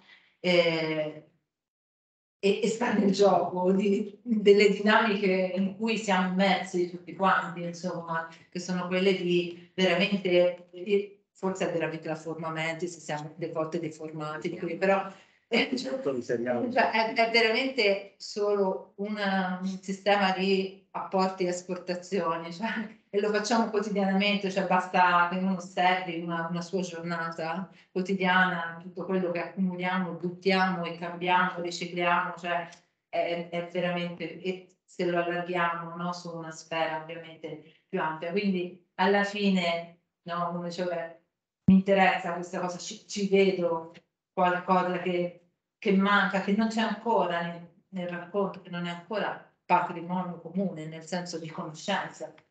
E poi, poi vediamo, insomma, cosa la racconto e poi chi lo sa. Grazie.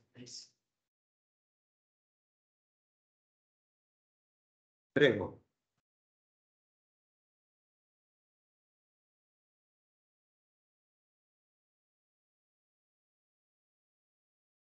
Ora, quasi riesco ai complimenti del collega. Io ho due domande, che quello che prima una domanda sulla lavoro. Eh, nel primo caso, quello dell'aeroporto, um, ci ha spiegato che un movimento che ha chiesto al di aprire un piccolo museo. Dopo l'identificazione dell'aeroporto, della sul territorio, c'è stata una richiesta o dei movimenti, delle proposte per approfondire indagini archeologiche, quindi siano precognizioni o scavi, oppure leggi una scelta di ricordare soltanto la memoria di una storia che c'è stata, che si trova da quella popolazione di, di oggetti e che non, non serve approfondire, perché dato che ce l'abbiamo avuta la conosciamo più o meno, o c'è una presa di consapevolezza maggiore e quindi forse richiede un'indagine, per esempio quella del, del campo, quindi un'ulteriore indagine.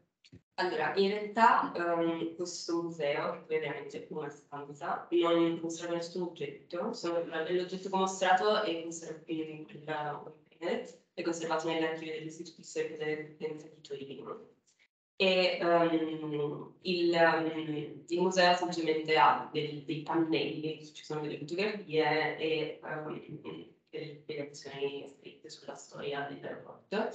Um, L'istituto di riferimento potrebbe essere l'istituto di Asti, perché la tecnologia fosse, fosse comune, e in realtà io eh, non ho detto loro niente per adesso, comunque è l'istituto di laurea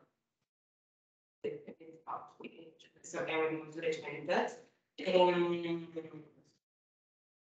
non, e, no, sarebbe sicuramente interessante uh, capire se, um, vabbè, innanzitutto a me piacerebbe approfondire ancora lo studio delle fotografie aeree e essere in grado di um, proprio delimitare precisamente i confini dello spazio e capire se oltre all'asse del terrato ci fossero delle um, strutture di appoggio di coordinamento possono avere il pubblico consolidato e um, delle strutture del so, un approccio fisico sì. e, um, dopodiché ovviamente la questione uh, per altro Cioè, non per forza scalo, anche per selezione, cioè cercare di restituire una materialità che è giustamente fatta di oggetti da superficie, per forse far connettere anche Sì, più cioè, il- sicuramente il-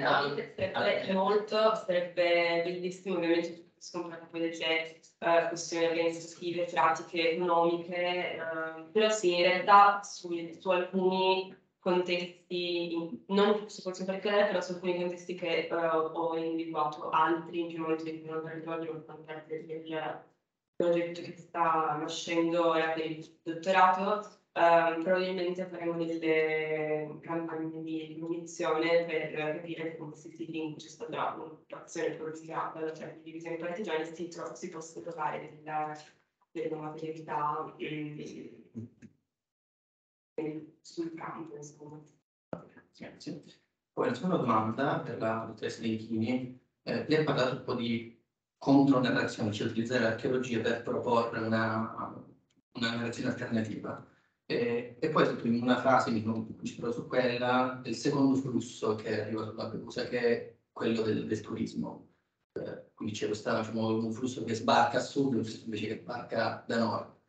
E tra i vari indicatori materiali che riguardano il flusso migratorio, avete trovato degli indicatori che invece in cui si riconosce il flusso turistico e quindi anche in questo caso, so che forse nel centro di merito del, del progetto, però si può espandere, ecco, e, um, delle- degli indicatori materiali che invece pensino anche di dare una contronarrazione del turismo che diciamo, viene visto sempre positivamente, invece la migrazione era eh, quella negativa, ma abbiamo visto invece che da parte della comunità è il contrario, e, e invece il turismo che invece viene visto dalla grande narrazione come qualcosa di positivo perché porta economia, porta gente a scoprire l'isola, se invece di contro vi è un impatto del turismo che si trova nelle tracce che me sono archeologiche. Allora, una domanda complicata. Ehm, allora, intanto noi siamo volutamente andati ehm, nei mesi meno turistici. Questo perché è veramente impossibile, ehm, sta- cioè l'isola, fate conto ha 6.000 abitanti, quest'estate siamo 70.000 persone, cioè quindi es- esplode veramente, cioè, e non era possibile ovviamente fare le condizioni o anche insomma per quanto io in realtà sono molto curiosa di andare a vedere la versione impatto turistico esattamente un'altra isola però per rispondere alla tua domanda allora sì eh, limitatamente abbiamo provato nel senso che eh, abbiamo trovato degli oggetti eh, in questi contesti che sono dei contesti ora ovviamente qui abbiamo sintetizzato no però sono dei contesti molto articolati cioè non è che c'è l'ondata delle cose del migrante eh. Eh, in realtà arriva quello che il mare porta principalmente e, eh, e si leggono varie realtà il discorso migratorio ovviamente perché è forte, è imponente tutto il discorso legato all'economia della pesca comunque, cioè ci sono tanti tipo, uno degli elementi, noi abbiamo più o meno posizionato 2800 oggetti, cioè comunque ci sono 300 frammenti di castellità del pesce per, per farti capire, o gli ami o i galleggianti. Ehm, ci sono alcuni elementi che possono essere ricondotti al turismo, a parte il giochino da spiaggia, il cappellino, eh, ma ad esempio io ho fatto questo lavoro, siccome la, la cosa quantitativamente più preponderante sono le bottiglie di plastica. no? Poi l'avete vista. Ecco, sono proprio tantissime, eh, sono la maggior parte dei reperti. Allora, eh, io ho provato a guardare da- cioè come fossero Tipologizzare. Esattamente. Mi sono messa lì e le ho catalogate tutte, ho visto da dove arrivavano, erano state prodotte, ci sono tutte le date, ci sono, quando ci sono le date di scadenza, eccetera. E ad esempio lì viene fuori che sicuramente una parte di tutte quelle italiane e di tutte quelle siciliane che arrivano eh, sull'isola, per esempio l'isola è un'isola che non ha l'acqua potabile, quindi si beve solo acqua minerale, c'è un apporto di, di bottiglie d'acqua incredibile, no? quotidiano. eh. Ovvio che una parte di quelle bottiglie arriva, si collega al momento del turismo, però è anche vero che eh, è veramente complesso perché, perché questi oggetti sono trattati in due maniere diverse. Eh, quando c'è il turismo, le spiagge sono pulite, cioè costantemente, quotidianamente c'è chi le pulisce e le tiene pulite perché campa in quella spiaggia. mm? Mentre invece quando non c'è il turismo eh, c'è un ammasso enorme di oggetti e non solo sulle spiagge, per le strade, cioè, forse per noi che siamo abituati a vivere in dei contesti più o meno cittadini, insomma, con la differenziata, cioè Lampedusa è un posto con cumuli di spazzatura più o meno ovunque, ora la differenziata l'hanno messa da settembre, quindi vediamo se magari piano piano, però come dire, questo rapporto con la, la materialità e soprattutto con i rifiuti, quelli che i resti, eh, è abbastanza strano, è abbastanza complesso perché appunto eh, facilmente per, per mesi le cose rimangono lì e fanno cumulo e allora magari in quel cumulo c'è anche le tanche di nafta che hanno buttato in mare le barche, gli yacht che girano intorno. Però non sono poi ehm, così diverse dalle tanche di nafta, cioè se non le trovi marchiate ad esempio, non si riconoscono. Questo è un altro fattore che secondo me può far riflettere. Perché poi per dire le scarpe sono le Nike, cioè sono uguali a quelle che ho io a casa, le felpe sono Fruit of the Loom, ce l'ho anch'io, però è la felpa dell'immigrante. Allora alla fine anche, anche sulla tipologia degli oggetti poi scattano delle riflessioni. Uno per il fatto che sono cose che conosciamo, sono, ci sono familiari, due per il fatto che non sono diverse dalle cose che utilizziamo. Quindi questa idea di altro è, è, è tanto da, da- No, la materia ci, ci consente di rifletterci, capito? Ci, cioè la mette un po' in crisi. Per quello che forse si diceva... un- mi piace questa cosa di negoziare e contestare, no? perché, sì, perché, perché alla fine ci, la, la, la traccia ci dà la possibilità di tirare fuori degli spunti che magari solitamente non cogliamo, ma anche banalmente perché siamo abituati a vedere, insomma, ci facciamo caso. Poi ha detto una cosa che mi ha appunto, eh, ha detto le spiagge in cui sono piene di spazzatura, di oggetti vengono ripulite d'estate. E quindi poi penso avete fatto delle mappe, le piante di utilizzo degli spazi, non so, potete, colpo d'occhio individuato qualche cosa di questo genere, eh, se c'è una scelta da parte della comunità o di chi visita l'isola di utilizzare e vivere alcuni spazi, alcuni periodi dell'anno, ovviamente. L'estate invece questi numeri sono periodi molto, molto diversi. E eh, anche in relazione alla forte presenza militare, se c'è una, una sorta di resistenza invece della, della popolazione che continua a vivere linearmente a questi, a questi luoghi, eh, anche lì leggere archeologicamente mappando l'utilizzo del suolo, eh, cosa si sceglie di, eh, di escludere dalla, dalla vita quotidiana, ma anche di escludere, per esempio, dal, dai giri turistici, cioè decidere di escludere una determinata spiaggia o un determinato luogo al centro dell'isola perché troppo intaccato da un, spera che- da dei fenomeni che colpiscono l'isola l'isola in maniera Allora, diversa. Noi abbiamo mappato le aree militari. Allora, quelle sono di per sé escluse perché Sì. sono... Sì, sì, sono, no, non sono solo nell'interno, cioè sono nel, nel- nel centro della città, cioè ci sono due rami del porto, che era il porto turistico, che ora sono rami militari, non ci si può entrare, ci sbarcano le motovedette che vanno a fare soccorso nella zona SAR, quindi a recuperare persone in mare. E sono nel, proprio nel centro, nel centro, porto principale. sì. Ehm, quelle sono, ci si convive, cioè l'idea che ho avuto io, insomma, è che si convive con, con questo stato di fatto. per due motivi. Uno, perché allora intanto se tu vai a Lampedusa, tu ci vada estate o d'inverno, non hai per niente la percezione dell'immigrazione.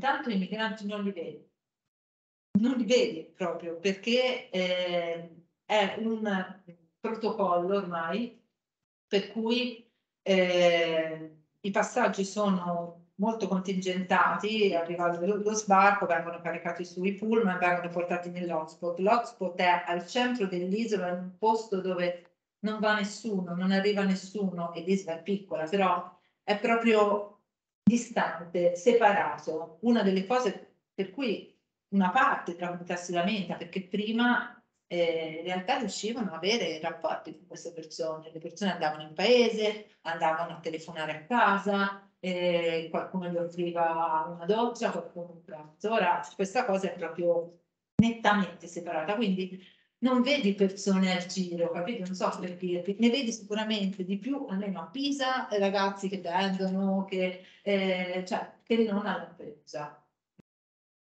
Eh, quindi non ci sono delle zone dove non si va perché ci sono migranti. Non so se Capito? Ci sono i grandi, Ma gli indicatori. Non ci sono gli indicatori perché vengono tolti, perché quando deve arrivare il turista si pulisce tutto, assolutamente, perché anzi ora c'è molto questa cosa che Lampedusa non vuole essere associata all'idea della perché è una narrazione antituristica che in qualche modo allontana il turista. Quindi loro assolutamente puliscono. Poi però intervisti una serie di persone che ti raccontano che da sempre in inverno, quando ancora non arriva proprio la massa dei turisti, loro vanno al mare, vanno sulla spiaggia e puliscono il pezzettino dove stendono l'asciugamano, ne fanno un sacchetto e poi lo, lo buttano quando se lo portano via e lo buttano nel bidone quando e in quel sacchetto delle volte ci sono anche cose che magari conservano, perché questa, questa signora ci raccontava che trovava appunto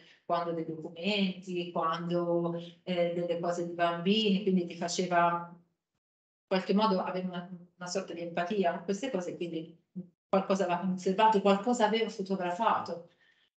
Però come un'abitudine, capito? Andava, puliva, ci, ci convive. L'isola, ahimè, ci convive, anche se denuncia, eh, in tutto questo denuncia, ma per, per tanti motivi che non sono solo quello che vi umanitario.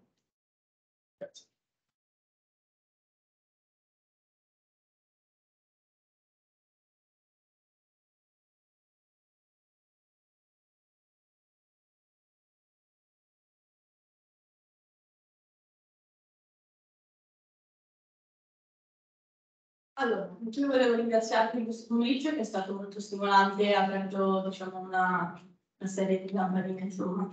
Eh, per cui ho cercato, spero di essere chiara, perché ci sono tanti pensieri che si sono appunto eh, sviluppati, spero di averli renditi chiari, insomma, volevo condividerli con voi.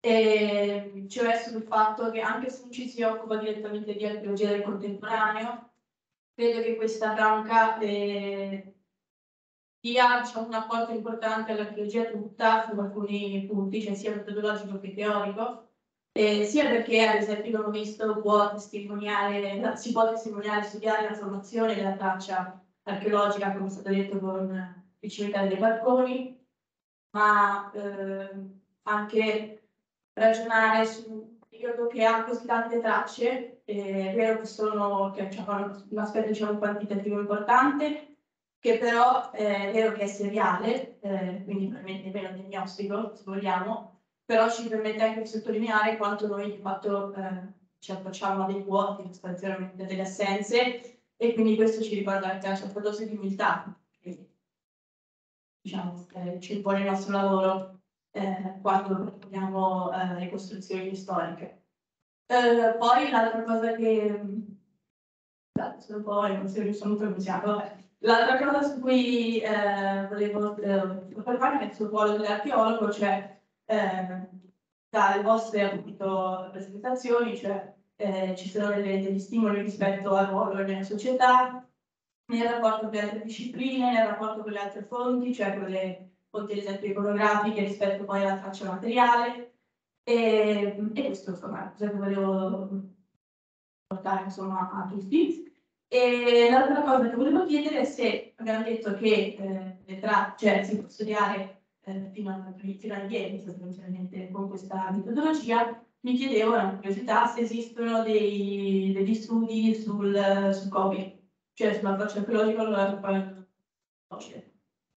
eh, allora, noi lo trovi sul, sul nostro sito del laboratorio Mappa, noi abbiamo fatto questo progetto che si chiama Ogni giovedì, eh, che in realtà è stato fatto durante il Covid, eh, quando il giorno del primo lockdown nel 2020, con una collega abbiamo pensato che quello che stava succedendo era estremamente storico, era qualcosa che non avevo mai più visto e che andava assolutamente documentato.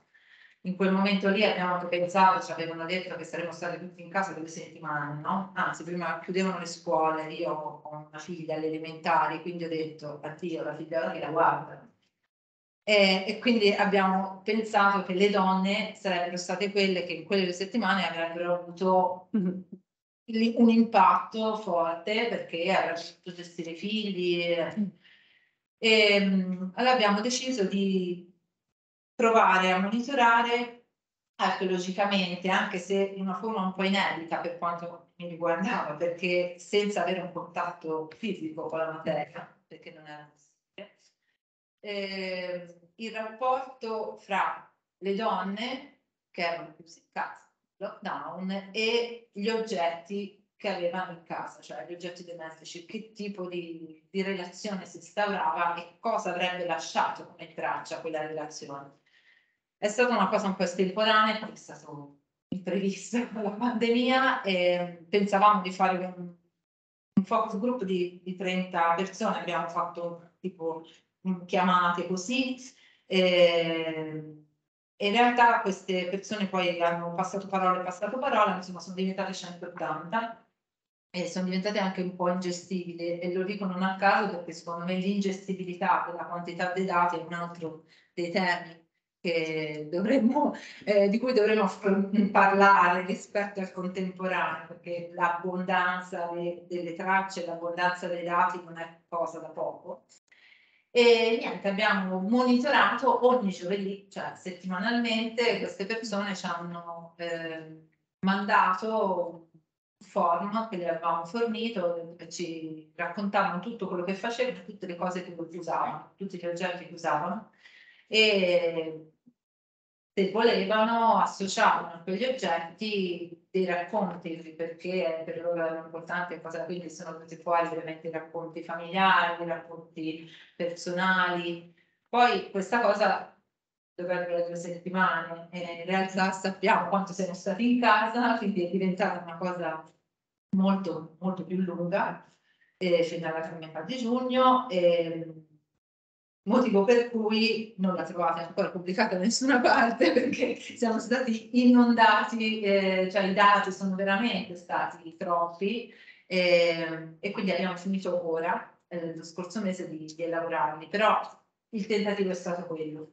Questo perché ho fatto e te lo posso raccontare. Ci sono però ehm, a livello internazionale, soprattutto eh, Nord Europa, qualcosa in Finlandia, qualcosa in Svezia, Inghilterra, negli Stati Uniti. Una serie di progetti, se cerchi banalmente anche su Accademia, Covid, Contemporary Archaeology, eh, c'è, stata una serie anche, immediata. Ci sono quelli che hanno mh, censito, mi sembra Oslo, se non mi ricordo, c'è stata una ricognizione per il quartiere urbano con tutte le tracce, dalle mascherine buttate ai guanti buttati, no? per capire quindi eh, l'impatto che aveva e anche capirne gli utilizzi, eccetera. Ci sono state alcune cose legate appunto a, delle, a degli sguardi mirati le donne, eh, i bambini, eh, ci, ci sono tanti, tanti progetti. Sono tutti un po' strani secondo me dal mio punto di vista proprio perché sono fatti a distanza cioè, a, a, a differenza di come siamo soliti abituare, ma, manca contatto proprio con la traccia, perché non è ovviamente possibile. Grazie.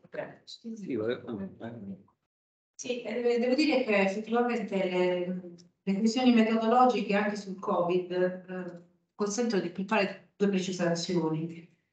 Che eh, intanto se parliamo di contemporaneo, effettivamente una distinzione va fatta su molto contemporaneo, quello che spesso noi chiamiamo la storia del tempo presente, ma per due motivi che, come spesso emerge anche dalle- dagli studi fatti prima, eh, quando eh, hai a che fare con la memoria comunicativa, cioè quella intergenerazionale, ci sono delle avvertenze particolari che tutti dovrebbero avere. Quindi nei memory studies, negli studi culturali, ci sono dei meccanismi che vanno tenuti presenti. Per esempio, le memorie tra le generazioni non si trasmettono automaticamente. Eh, si è rotto il rapporto che prima c'era tra la generazione dei nonni la generazione dei, dei- dei nipoti, per esempio.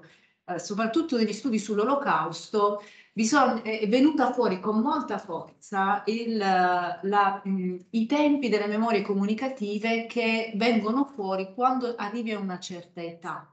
Quindi c'è quasi una ciclicità, una, una generazione arriva a un punto della sua, eh, della sua età e sente il bisogno di ricordare, di riallacciare i fili col passato. Quando fa questa operazione, le avvertenze che eh, la memoria di secondo livello, di terzo livello, che bisogna avere sono tante e quindi quando siamo nel campo delle storie individuali, delle memorie individuali, che spesso con lo studio anche degli oggetti vengono fuori, che sono preziosissime anche per gli studi storici, il lavoro deve essere interdisciplinare, forza. La- secondo me l'archeologia del contemporaneo, come alcuni studi dimostrano, che il lavoro in team interdisciplinare è prezioso.